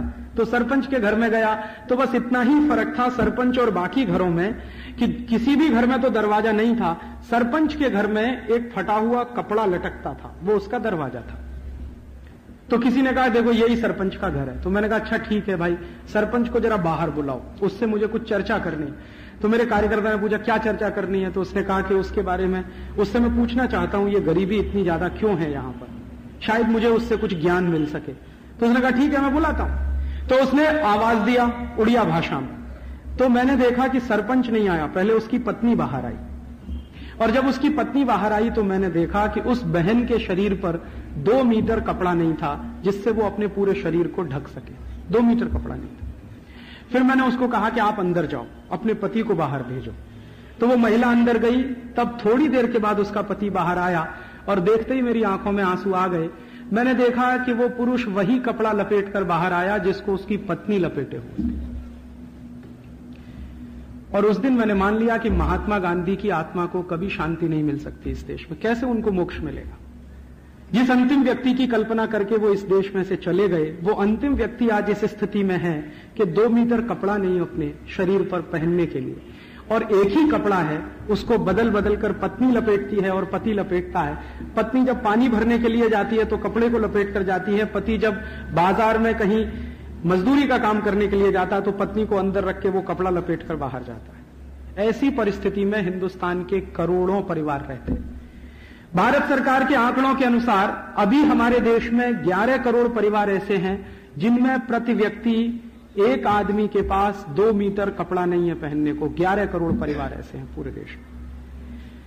सरकार के आंकड़ों के अनुसार 13 करोड़ परिवार ऐसे हैं हमारे देश में जहाँ की महिलाओं को, माताओं को, बहनों को संडास की व्यवस्था नहीं है अपने घर में। उन महिलाओं को, शौच की व्यवस्थाओं को किसी तरह से पूरा करने के लिए सड़क के दोनों किनारे बैठना पड़ता है। और मैं भारत के गाँव गाँव में जाता हूँ तो सबसे ज़्यादा कोई मुझे मेरा कार्यकर्ता पूछता है कि राजीव भाई, आपको सबसे ज़्यादा तकलीफ़ किस बात से होती है? तो मुझे सबसे ज़्यादा तकलीफ़ उस समय होती है कि जब मैं किसी गाँव में घुस रहा होता हूँ, मेरी गाड़ी की हेडलाइट सड़क के दोनों किराने पड़ती है और बहुत सारी महिलाओं को उठ जाना पड़ता है। मेरी गाड़ी निकल जाने के बाद फिर उनको बैठना पड़ता है। उस समय मेरे दिल को सबसे ज़्यादा चोट लगती है। और मैं अंदर ही अंदर कुड़ता रहता हूँ, घुलता रहता हूँ कि आज़ादी के त्रेपन वर्षों के बाद हम तेरह करोड़ परिवारों को संडास की व्यवस्था नहीं दे पाए।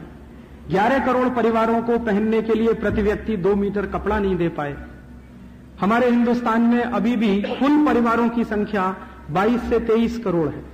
थोड़ा लिबरल एस्टीमेट अगर लगाया जाए तो कुल परिवारों की संख्या भारत में 25 करोड़ है।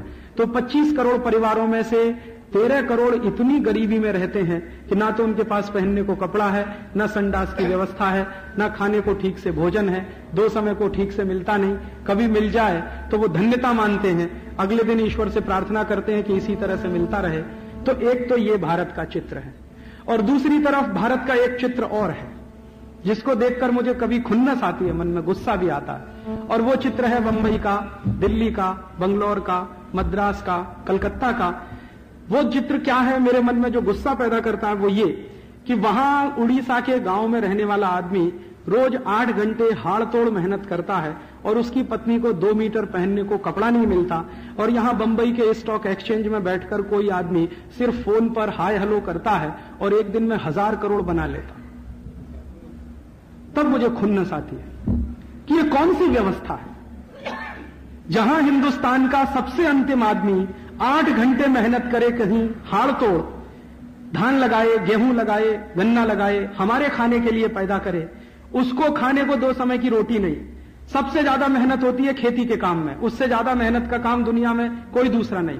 सबसे ज़्यादा स्किल्ड वर्क है दुनिया में, वो खेती का काम है। उससे ज़्यादा स्किल्ड दुनिया में कोई काम नहीं।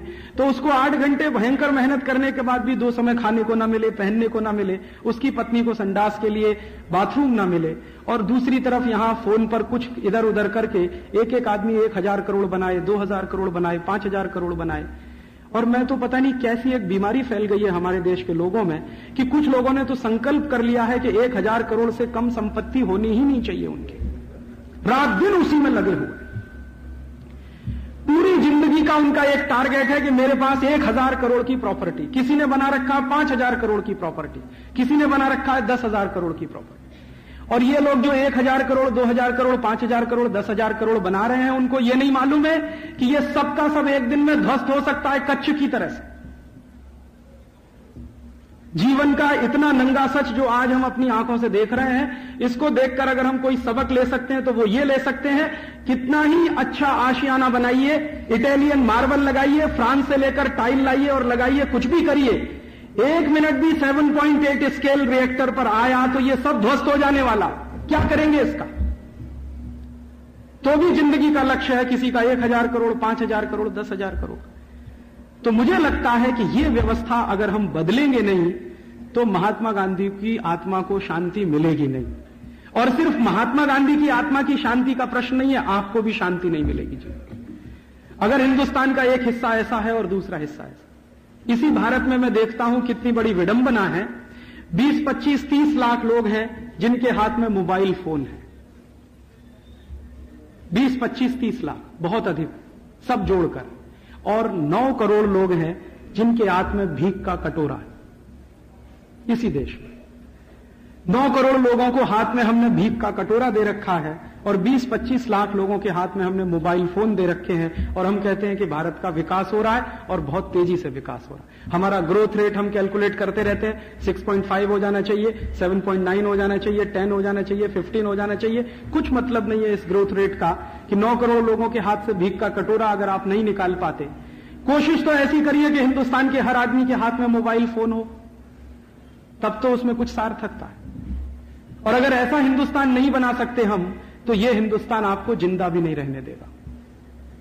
वो आप भी सोच लीजिए इसके बारे में। क्योंकि ऐसी व्यवस्थाएँ बहुत दिनों तक चलती नहीं है।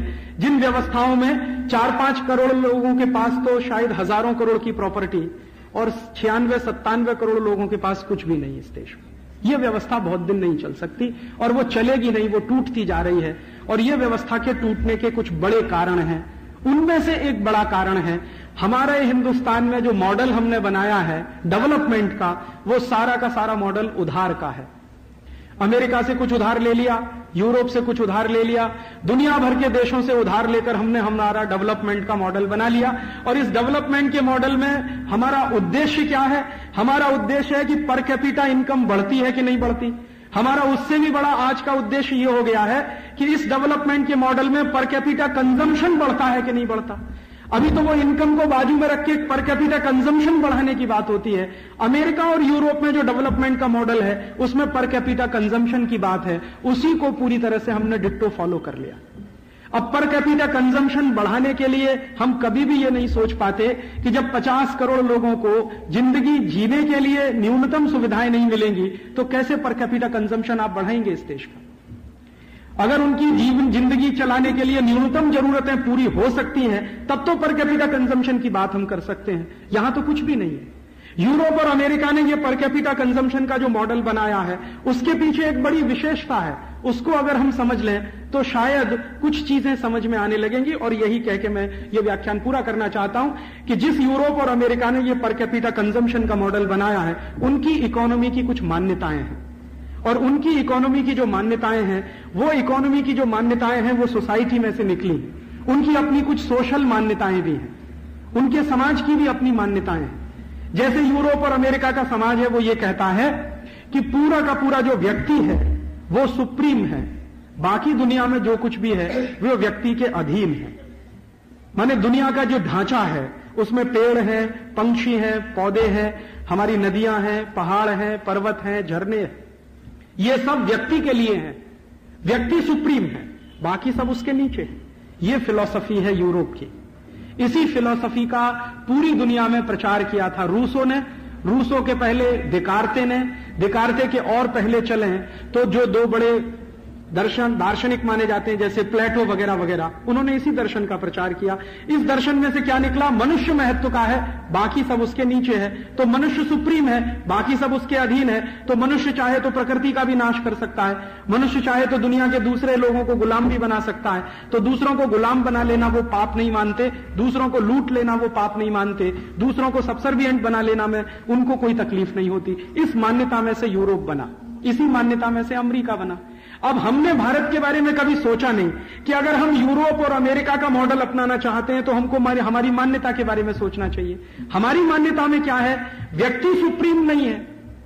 हम ऐसा मानते हैं कि ये जो पूरा पर्यावरण है, ये जो प्रकृति है, इस पूरे पर्यावरण में जो भी कुछ हमको दिखाई दे रहा है, उनमें से कोई भी सुप्रीम नहीं है, सब बराबर है। हम चीटी को, मक्खी को, मच्छर को, गाय को, बैल को, बकरी को, भैंस को या किसी भी दूसरी चीज़ को मनुष्य से ऊपर नहीं मानते।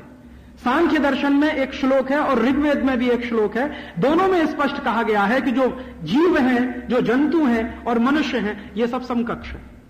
तो हमारी मान्यता सबको बराबर मानने की है। तो हमने बराबरी की मान्यता रखी है और उन्होंने मनुष्य को सुप्रीम बनाया है। अब हमने चूँकि बराबरी की मान्यता रखी है, इसलिए उसी में से यह कल्पना भी निकली है कि भाई प्रकृति का नाश मत करो, क्योंकि प्रकृति किसी मनुष्य के अधीन नहीं है। जीव जंतुओं का नाश मत करो, क्योंकि ये जीव जंतु किसी के अधीन नहीं है। भले ही वो कमज़ोर है या ताकतवर है, इसका बहस हमने कभी नहीं चलाया। यूरोप और अमेरिका में ये जो इकोनॉमी आई है, जिस इकोनॉमी के आधार पर वहाँ सब कुछ चलता है, उसका एक बेसिक प्रिंसिपल है, और वो प्रिंसिपल है सर्वाइवल ऑफ़ द फिटेस्ट आप अगर समझने की कोशिश करो यूरोप और अमेरिका को तो वहाँ एक ही सिद्धांत है। वो सिद्धांत है सर्वाइवल ऑफ़ द फिटेस्ट माने जो ताकतवर है, उसी को ज़िंदा रहने का अधिकार है। जो कमज़ोर है, उसको मर जाना चाहिए, या ताकतवर का गुलाम बन जाना चाहिए। भारत की जो फिलोसफी है, वो इसके ठीक उल्टी है। भारत की फिलोसफी है सर्वाइवल ऑफ़ द वीकेस्ट हमने जो फिलोसफी बनाई है, वो फिलोसफी है सर्वाइवल ऑफ़ द वीकेस्ट या बल्कि मैं एक कदम आगे जाकर कहूँ तो भारत का जो जैन दर्शन है, बौद्ध दर्शन है, या जो पारंपरिक हिंदू दर्शन है, उन तीनों को अगर एक वाक्य में लाना हो तो हमारी फिलॉसफी है survival of the all including the weakest और यूरोप और अमेरिका की फिलॉसफी है सर्वाइवल ऑफ़ द फिटेस्ट हम मानते हैं survival of the all including the weakest और वो मानते ही नहीं कि वीकेस्ट के लिए कुछ होना। तो उनके जो मॉडल हैं, उनमें गरीबों के लिए, मुफलिसों के लिए बेकारों के लिए, मर जाने वाले लोगों के लिए कोई स्थान नहीं है। मरते हैं तो मर जाए। अमेरिका को बनाने में 10-11 करोड़ रेड इंडियंस मर गए। किसी को अफसोस नहीं है इस बात का। अमेरिका की इतनी वैभव तैयार करने में दुनिया के करोड़ों लोगों को लूट लेना पड़ा, उसका उनको कोई अफसोस नहीं है। यूरोप को इतना भव्य बनाने में दुनिया के 50 देशों की संपत्ति लूटी गई, उनका उनको कोई अफसोस नहीं है। तो वो कहते हैं कि जो गरीब है गरीब है, बेकार है, मुफलिसी वाला, उसको तो मर जाना चाहिए। जो ताकतवर है, उसी को ज़िंदा रहना चाहिए। तो ताकतवर को ज़िंदा रहने का जब सिद्धांत आप बनाएँगे तो उसमें से निकलेगा कॉम्पिटिशन और कमज़ोर से कमज़ोर को ज़िंदगी बिताने का अधिकार आप देंगे तो उसमें से निकलेगा कोऑपरेशन भारतीय जो सभ्यता है, वो कोऑपरेशन प्रधान है। अमेरिकन और यूरोपियन जो सभ्यता है, वो कंपटीशन प्रधान है। अब हम फंस गए हैं कंपटीशन प्रधान सभ्यता में, जबकि हम रहते हैं कोऑपरेशन प्रधान सोसाइटी में। हमारी ज़िंदगी का कॉन्ट्रडिक्शन देखिए। ज़िंदगी की कितनी बड़ी डायकोटोमनी हम हैं। कि मान्यता हमारी कंपटीशन वाली है और रहने की जगह कोऑपरेशन वाली है। कैसे चलेगी ये व्यवस्था?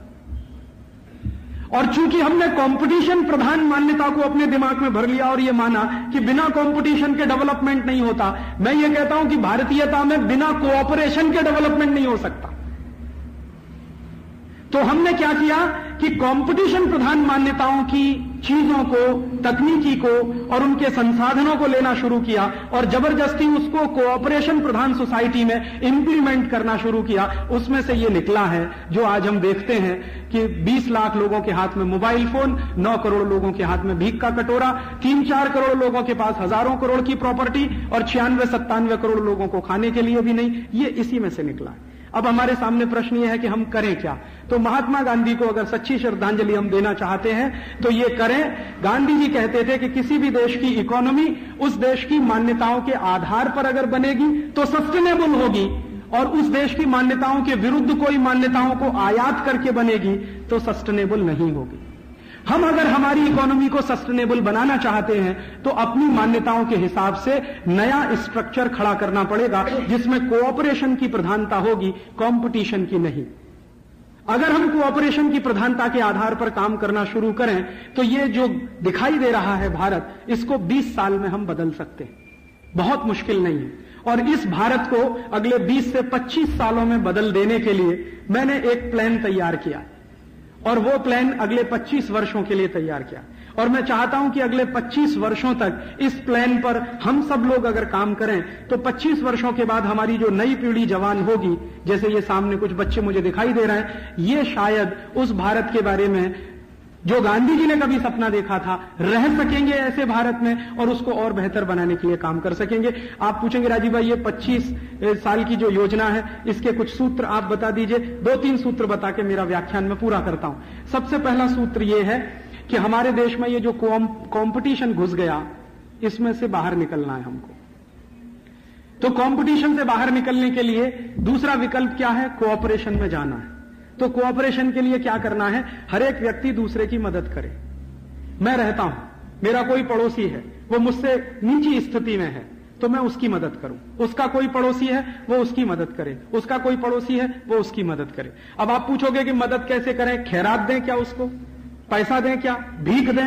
भीख नहीं चाहिए उसको। खैरात भी नहीं चाहिए उसको। उसको सम्मानजनक ज़िंदगी बिताने के लिए कुछ जरूरतें हैं, वो पूरा करने के लिए आपका सहयोग चाहिए। तो आप कैसा सहयोग कर सकते हैं? मैं आपसे निवेदन यह करना चाहता हूँ कि आप जिस मोहल्ले में रहते हैं, जिस गाँव में रहते हैं, जिस सोसाइटी में रहते हैं, अगर उसके आसपास कुछ गरीब लोग हैं और वो कुछ उत्पादन करते हैं या कुछ व्यापार करते हैं तो आप उनके उत्पादन को खरीदने का काम करें, उनके व्यापार को प्रमोट करने का काम करें, यही मदद आपकी उनके लिए सबसे बड़ी मदद होगी।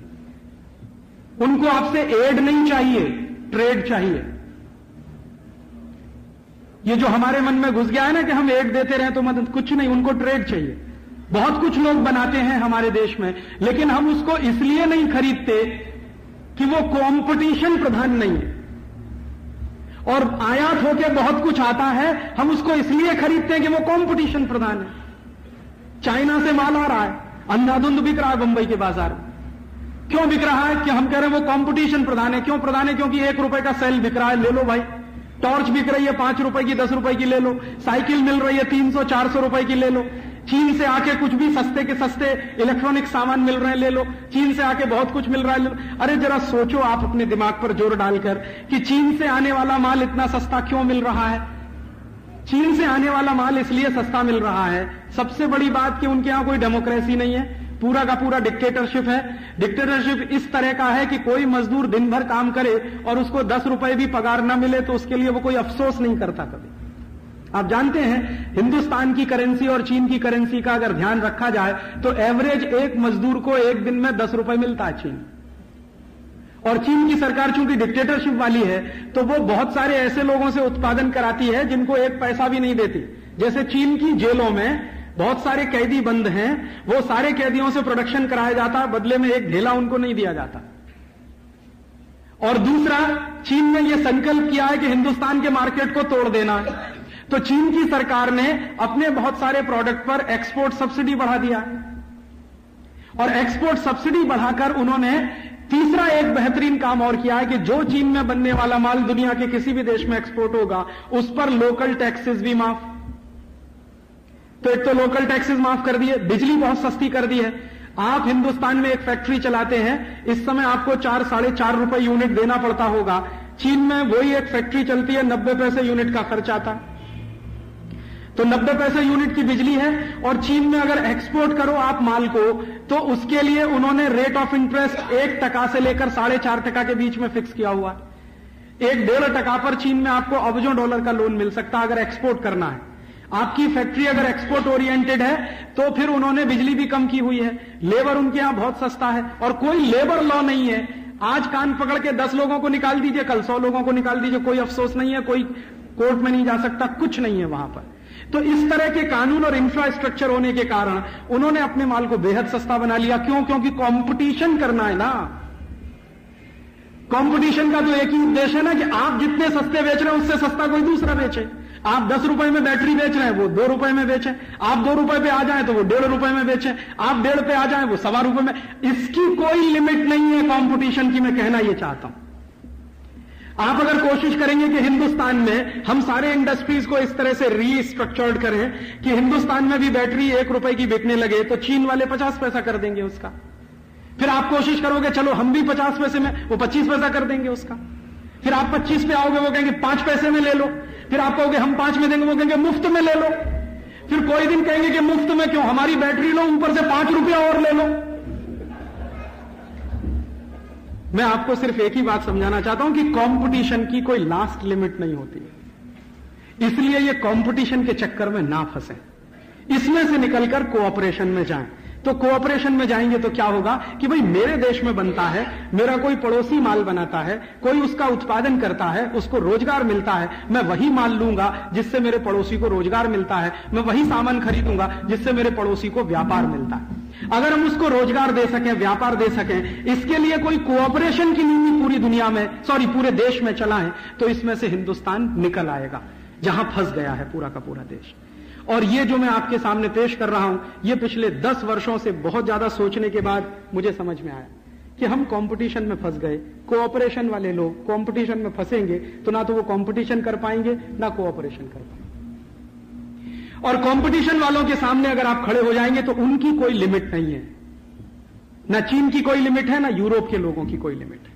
आप उस लिमिट को कभी क्रॉस नहीं कर पाएँगे। तो वापस लौटें और अपनी कोऑपरेशन की दुनिया में चलें।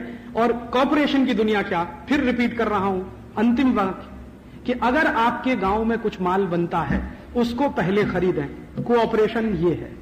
आपके गाँव में नहीं बनता, बाजू के किसी गाँव में बनता है, उसको खरीदें, वो कोऑपरेशन आपके दो गाँव के बाजू में नहीं बनता, किसी ज़िले में बनता है, उसको खरीदें, वो कोऑपरेशन है।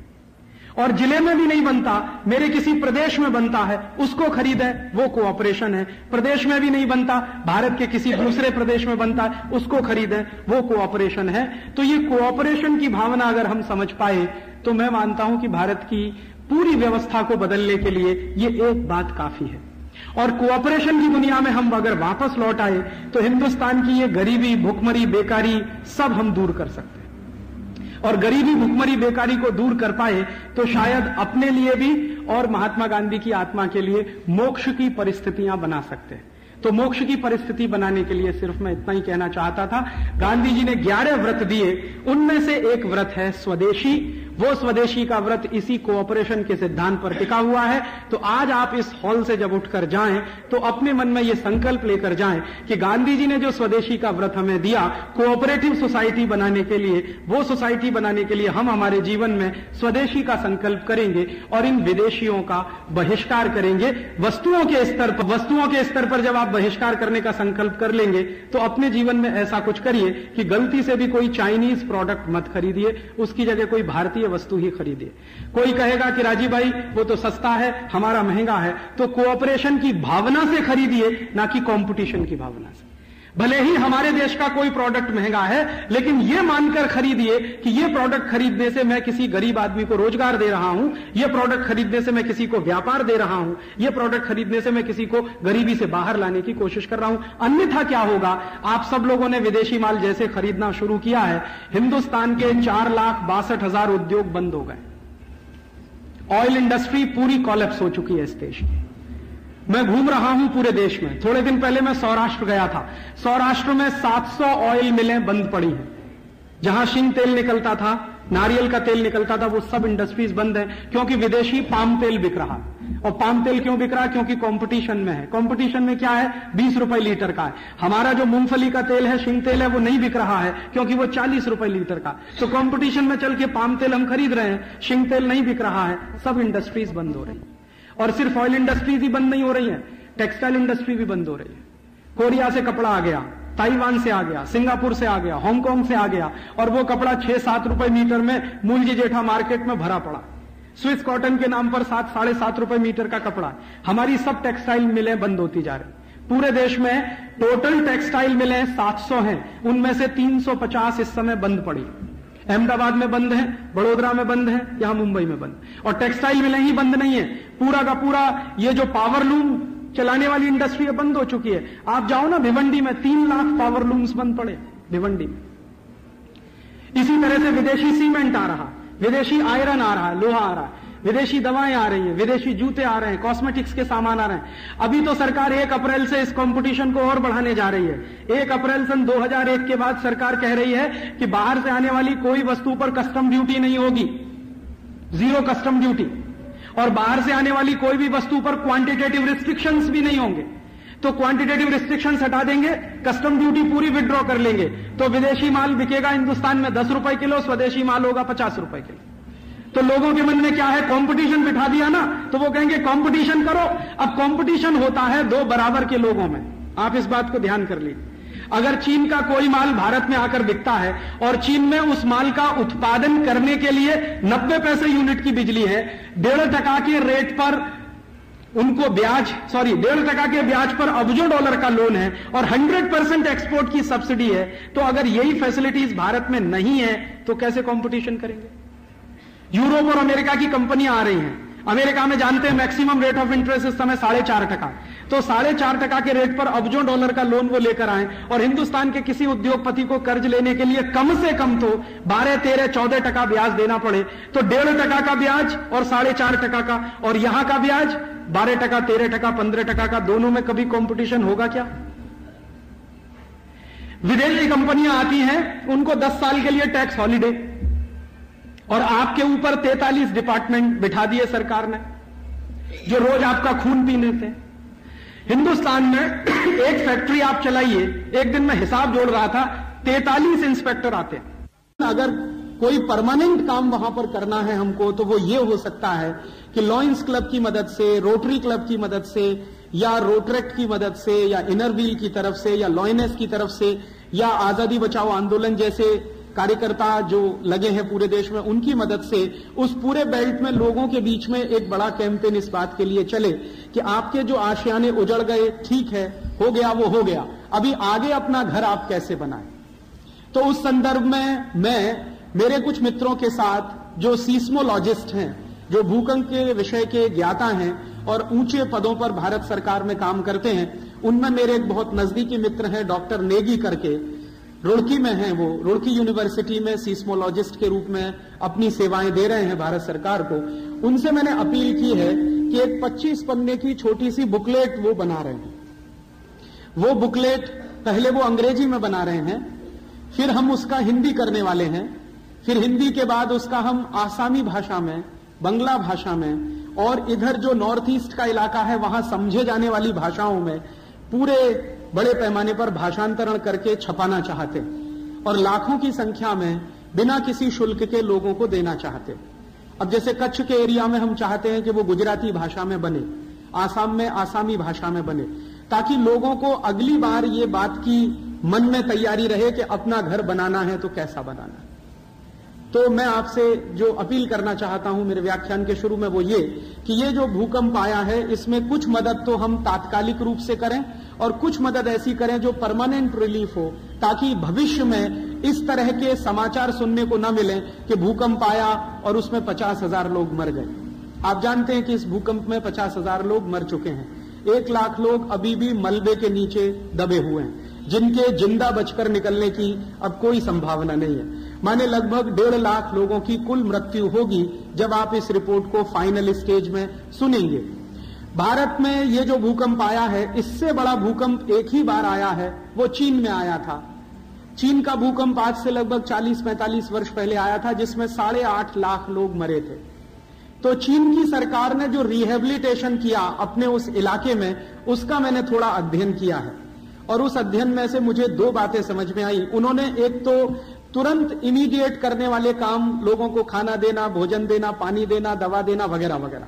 लेकिन जो दूसरा परमानेंट काम उन्होंने किया कि जिस इलाके में भूकंप आया, वहाँ घरों की डिज़ाइन उन्होंने ऐसी करा दी है कि उसी इलाके में बहुत बार बाद में भी भूकंप आया, लेकिन मरने वालों की संख्या पाँच, दस, पंद्रह, बीस ऐसी ही रही है।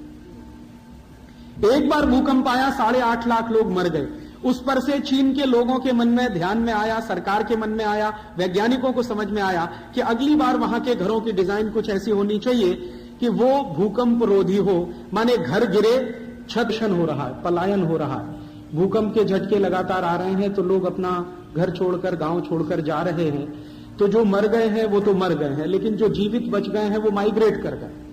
भुज में से काफ़ी लोग माइग्रेट कर गए हैं, अंजार में से कर गए हैं बचाऊ में से कर गए हैं। तो माइग्रेशन ज़्यादा होने के कारण वहाँ जिनको आप रिलीफ देना चाहते हैं, वो लोग नहीं है। माने जो पात्र हैं रिलीफ लेने के, वो इस समय वहाँ पर उपलब्ध नहीं है। तो हो क्या रहा है कि आप जो भी मदद भेजते हैं आर्मी ऑफिसर्स उसको रख लेते हैं और वो कहते हैं कि आप मदद छोड़ के चले जाइए।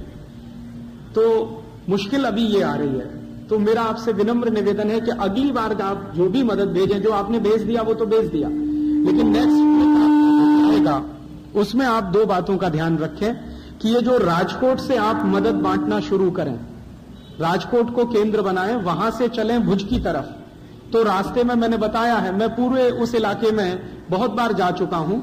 तो लगभग साढ़े तीन सौ गाँव हैं। सड़क के एनएच 15 है, नेशनल हाईवे 15 नंबर। उसके दोनों तरफ़ करीब साढ़े तीन सौ गाँव हैं। कुछ गाँव हैं जो मेन रोड से 20 से 50 किलोमीटर तक अंदर हैं। कुछ गाँव मेन रोड से 10-15 किलोमीटर के अंदर हैं। तो इन गाँवों में इस समय सबसे ज़्यादा मदद की ज़रूरत है, क्योंकि वहाँ कोई नहीं पहुँच रहा। और उन गाँवों का नाम न्यूज़ में भी नहीं है।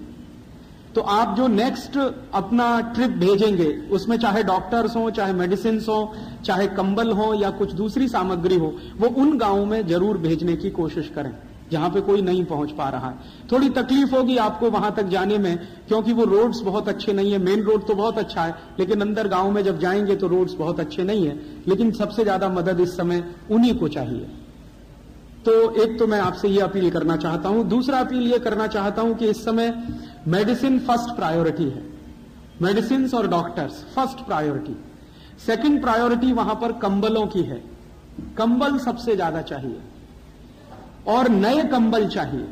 पुराने कंबल ना भेजें। जैसे कुछ लोगों की प्रवृत्ति होती है कि घर में पुराना कोई कंबल है, पुरानी रजाई है, वो दे दिया, वो किसी से ना लें।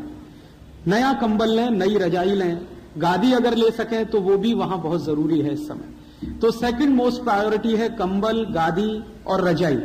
और थर्ड प्रायोरिटी है गर्म कपड़े, ऊनी कपड़े। वो स्वेटर हो सकते हैं, जर्सियाँ हो सकती हैं, कुछ भी वुलन वहाँ चाहिए शॉल चाहिए काफ़ी बड़ी संख्या में।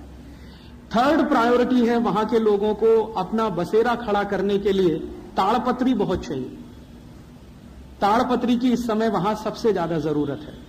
तो ताड़पत्री हो, उनको टिकाए रखने के लिए कुछ बंबू चाहिए, कुछ बाँस चाहिए, उसके टुकड़े चाहिए। तो ये थर्ड प्रायोरिटी और लास्ट प्रायोरिटी जो मैं मानता हूँ वो ये कि ये आप जानते हैं कि हमारे देश के सभी वैज्ञानिक ये कह रहे हैं कि ये कच्छ का जो इलाका है, आज की इस सभा में आए हुए मुंबई के सभी सम्मानित नागरिकों, भावना बहन, उनके सभी सहकर्मी, पदाधिकारी लॉयंस क्लब के, मैं आप सबका बहुत आभारी हूँ। कि महात्मा गांधी की पुण्यतिथि के अवसर पर आज इस समारोह को आपने आयोजित किया और मेरे जैसे एक सामान्य व्यक्ति को गांधी जी को श्रद्धांजलि अर्पित करने का मौका दिया।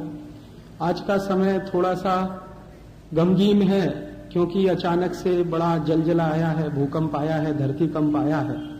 मेरे मन में एक दो बार तो ऐसा था कि मैं इस कार्यक्रम में जाऊँ कि ना जाऊँ, दुविधा थी काफ़ी, क्योंकि बहुत सारे हमारे सहकर्मी कार्यकर्ता इस भूकंप में भगवान को प्यारे हो चुके हैं। आज़ादी बचाओ आंदोलन का भुज में कार्यालय जो चलता था, वो पूरी तरह से जमींदोज हो चुका है और हमारे कई कार्यकर्ताओं का उसमें देहांत भी हो चुका है। तो मन में थोड़ी दुविधा थी, फिर भावना बहन की थोड़ी प्रेरणा हुई कि नहीं, आप ज़रूर आइए तो मैं यहाँ किसी तरह से आ गया। हम सबने दो मिनट का मौन रख के उनको श्रद्धांजलि अर्पित करी। मैं भी उसमें शामिल हुआ, इसका मुझे खुशी है। ये जो भूकंप आया है, इसमें आप सब लोग लाइन्स क्लब की तरफ़ से कुछ मदद भेज चुके हैं और कुछ भेजने की तैयारी कर रहे हैं। ये सुनकर भी मेरा हौसला बढ़ा। और आगे भी आप शायद ये मदद लगातार जारी रखेंगे, ऐसी मेरी उम्मीद है आप सबसे ये जो भूकंप आया है, इसमें चार तरह के काम करने होंगे। एक काम तो ये है कि तात्कालिक रूप से दवाओं की बहुत ज़रूरत है, डॉक्टरों की बहुत ज़रूरत है। हमारे आज़ादी बचाओ आंदोलन के कार्यकर्ता पिछले दो दिनों से भूकंप प्रभावित क्षेत्र में लगे हुए हैं। चार टीमें हमारी दो दो डॉक्टर और दस दस कार्यकर्ताओं के साथ वहाँ पर उपस्थित हैं, भुज में, अंजार में बचाओ में, तीन स्थानों पर।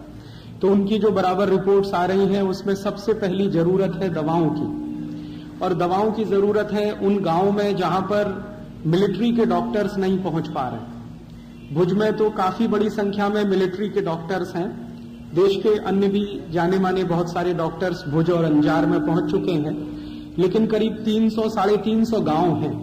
राजकोट से भुज अगर जाएँ, आप में से बहुत सारे लोग गए होंगे शायद बाई रोड तो उस पूरे रास्ते पर 200 किलोमीटर का फासला है, राजकोट से भुज के बीच का लगभग। उस रास्ते में करीब 350 गाँव हैं। उन 350 गाँवों को मदद की सबसे ज़्यादा ज़रूरत है। इस समय जो ज़्यादा मदद पहुँच रही है, वो भुज में पहुँच रही है।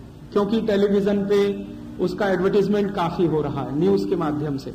तो जो भी लोग पहुँच रहे हैं, भुज में पहुँच रहे हैं। मेरा आप सब लॉइंस के साथियों से निवेदन है कि अगली मदद जब आप भेजें तो उसको भुज में ना भेजें, अंजार में ना भेजें, बचाव में ना भेजें, क्योंकि ये तीनों स्थानों पर जितनी ज़रूरत है उससे ज़्यादा पहुँच चुका है। अभी वहाँ लेने वाले लोग नहीं है, क्योंकि काफ़ी बड़ी मात्रा में माइग्रेट वो हाईली सीस्मिक जोन है। भारत सरकार ने इसको जोन फाइव डिक्लेयर किया। जोन फाइव माने सबसे ज़्यादा सेंसिटिव जहाँ पर सबसे जल्दी भूकंप आ सकता। ऐसे ही एक जोन फोर है, जोन थ्री है, जोन टू है, जोन वन है। जोन वन में क्या आता है? पूरा कर्नाटक कर्नाटक के साथ केरल, ये जोन वन है, जहाँ पर कभी भी भूकंप आने की संभावना सबसे कम है। कर्नाटक, जोन टू उससे ज़्यादा सेंसिटिव है। फिर जोन थ्री उससे भी ज़्यादा सेंसिटिव है। जोन फोर उससे भी ज़्यादा, और जोन फिफ्थ तो हाईली सेंसिटिव है। तो जोन फिफ्थ में एक तो पूरा कच्छ आता है, गुजरात का कुछ इलाका आता है, फिर उसके अलावा आसाम, नागालैंड, मिजोरम, मणिपुर, त्रिपुरा, ये पूरा का पूरा जो हिमालयन बेल्ट है, और उत्तर प्रदेश का इलाका, जिसमें उत्तरकाशी, पौड़ी, चमोली, गढ़वाल वगैरह वगैरह, ये जोन फाइव में पूरा आता है। अगर आप भारत का नक्शा देखेंगे तो हिमालय की चोटी से लेकर और इधर पश्चिम की ये जो पूरी बेल्ट है, कच्छ तक की ये बहुत ज़्यादा सेंसिटिव है भूकंप के लिए। तो जो लास्ट ऑपरेशन हमें करना चाहिए, हम सबको मिलकर उसमें आप, हम सब शामिल हों, वो ये कि इस पूरे इलाके में एक बड़े पैमाने पर जन जागरण का काम, मास अवेकनिंग काम, वो किस चीज़ के लिए कि घर कैसा बनाएँ, ताकि अगले भूकंप से बचें। मेरा ऐसा मानना है कि लोग भूकंप से नहीं मरते। अपने बनाए हुए घरों से मरते। भूकंप लोगों की जान नहीं लेता कभी भी। लेकिन लोगों ने जो अपना आशियाना बनाया है रहने के लिए, बड़े मन से, बड़े श्रम से, बहुत सारा पैसा लगा के, उसी आशियाने से मरते। मैं कहना यह चाहता हूँ कि ये जो हाईली सीस्मिक जोन होता है, वहाँ पर घर कुछ इस तरह के होने चाहिए, जिनकी छत हल्के से हल्के मटेरियल से बनाई जाए। फाइबर का यूज़ कर सकें घास फूस का यूज़ कर सकें। वो मिट्टी के जो कवेलू आते हैं, टाइल्स आते हैं, जिनको मैंगलोरी टाइल्स आप कहते हैं, उनका यूज़ कर सकें। अगर इन चीज़ों का इस्तेमाल करके अगर उनकी छत बनेगी तो अगले भूकंप में मरने वालों की संख्या सबसे कम होगी। मैंने आपको कहा कि भूकंप तो वहाँ आने ही वाले हैं। उनको आप भी नहीं रोक सकते, मैं भी नहीं रोक सकता। और दुर्भाग्य से इतनी ज़्यादा विज्ञान और तकनीकी प्रगति होने के बाद भी भूकंप की भविष्यवाणी करना बिल्कुल असंभव है। कोई भी वैज्ञानिक ये दावा नहीं कर सकता कि भूकंप इस तारीख को आने वाला है। बारिश की भविष्यवाणी की जा सकती है, गर्मी की भी की जा सकती है, भूकंप की संभव नहीं है। तो भविष्यवाणी करना एकदम असंभव है। और ये हाईली सीस्मिक जोन है, इसलिए बार बार इसमें भूकंप आने ही वाले हैं सालों साल ये चलने वाला है। तो क्यों नहीं हम हमारे लोगों को इस तरीके से ट्रेंड करें, जो उस इलाके में रहते हैं, कि भाई तुम्हारा घर कैसा होना चाहिए? तो इसका एक बड़े पैमाने पर वहाँ कैंपेन हमको चलाना होगा, क्योंकि बिना उसके कोई दूसरा रास्ता है नहीं। अभी तो हम मदद कर रहे हैं, रिलीफ दे रहे हैं, ये तो तात्कालिक काम है। लेकिन तो टूटे, मरने वालों की संख्या कम से कम हो। और आप जानते हैं, इसी तरह से जापान नाम का एक देश है, वहाँ तो अक्सर ही भूकंप आते रहते हैं। तो जापान में भी जिस तरीके से घर बनाए जाते हैं, जो टेक्नोलॉजी उसमें इस्तेमाल की जाती है, वो टेक्नोलॉजी शायद हम हमारे देश के लोगों को समझा सकें और बता सकें वो परमानेंट रिलीफ वर्क होगा। शायद उसी का महत्व तो आने वाली पीढ़ियों को समझ में आएगा। तो मैं आपसे ये निवेदन करना चाहता हूँ कि चार तरह की मदद आप वहाँ करें। पहली मदद डॉक्टर दवाओं की, दूसरी मदद कंबलों की, गर्म कपड़ों की, तीसरी मदद उनको अपना तात्कालिक रूप से आशियाना बनाने के लिए ताड़पत्री वगैरह वगैरह जो चाहिए उसकी, और आखिरी मदद ये जो बुकलेट हम बनाने जा रहे हैं, इस बुकलेट का लार्ज स्केल पर पब्लिकेशन हो, दस बीस हज़ार आप छाप कर दें, दस बीस हज़ार कोई और छाप कर दें, पचास हज़ार आप दे सकें तो पचास हज़ार दे दें हमें बनाकर, हम उसको गाँव गाँव लोगों के बीच में जाकर उनको देना चाहते हैं और इस मुद्दे पर उनका मानसिक तैयारी कराना चाहते हैं। एक आखिरी बात इससे जुड़ी हुई जो कहना चाहता हूँ वो ये कि चीन की सरकार ने जब अपने प्रांत में उनके यहाँ भूकंप आया तो जो भूकंप रोधी घर बनाए, या जापान की सरकारों ने जो अपने यहाँ भूकंप रोधी घर बनाए, उन घरों को बनाने के लिए डिज़ाइन कहाँ से मिला, वो मैं आपको कहना चाहता हूँ।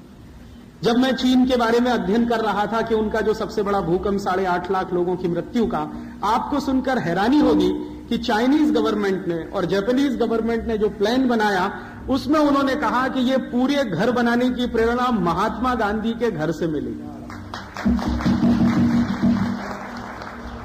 महात्मा गांधी का कौन सा घर? महात्मा गांधी के तीन घर हैं।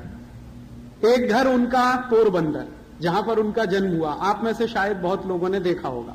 दूसरा उनका जवानी का घर, जहाँ पर वो जवान हुए, पढ़ाई की वो राजकोट में। धर्मेंद्र रोड है एक राजकोट में, आप में से शायद कई लोग गए होंगे, वहाँ पर उनका घर है। तीसरा घर महात्मा गांधी का साबरमती आश्रम, वो भी आप में से कई लोगों ने देखा। एक आखिरी घर और है महात्मा गांधी का वो सेवाग्राम आश्रम नागपुर के पास। मैं भी सौभाग्य से वहीं रहता हूँ इस समय। महात्मा गांधी के घर के नज़दीक ही मेरी कुटिया है, सेवाग्राम आश्रम में। सेवाग्राम आश्रम का घर जो महात्मा गांधी का बना हुआ है, उसे देखने के लिए मैं आप सबको निमंत्रण दे रहा हूँ स्टैंडिंग ऑफ़र आप कभी भी वहाँ आइए। लगे तो कभी आपके लोहिंस क्लब की कोई कॉन्फ्रेंस वहाँ आयोजित करिए।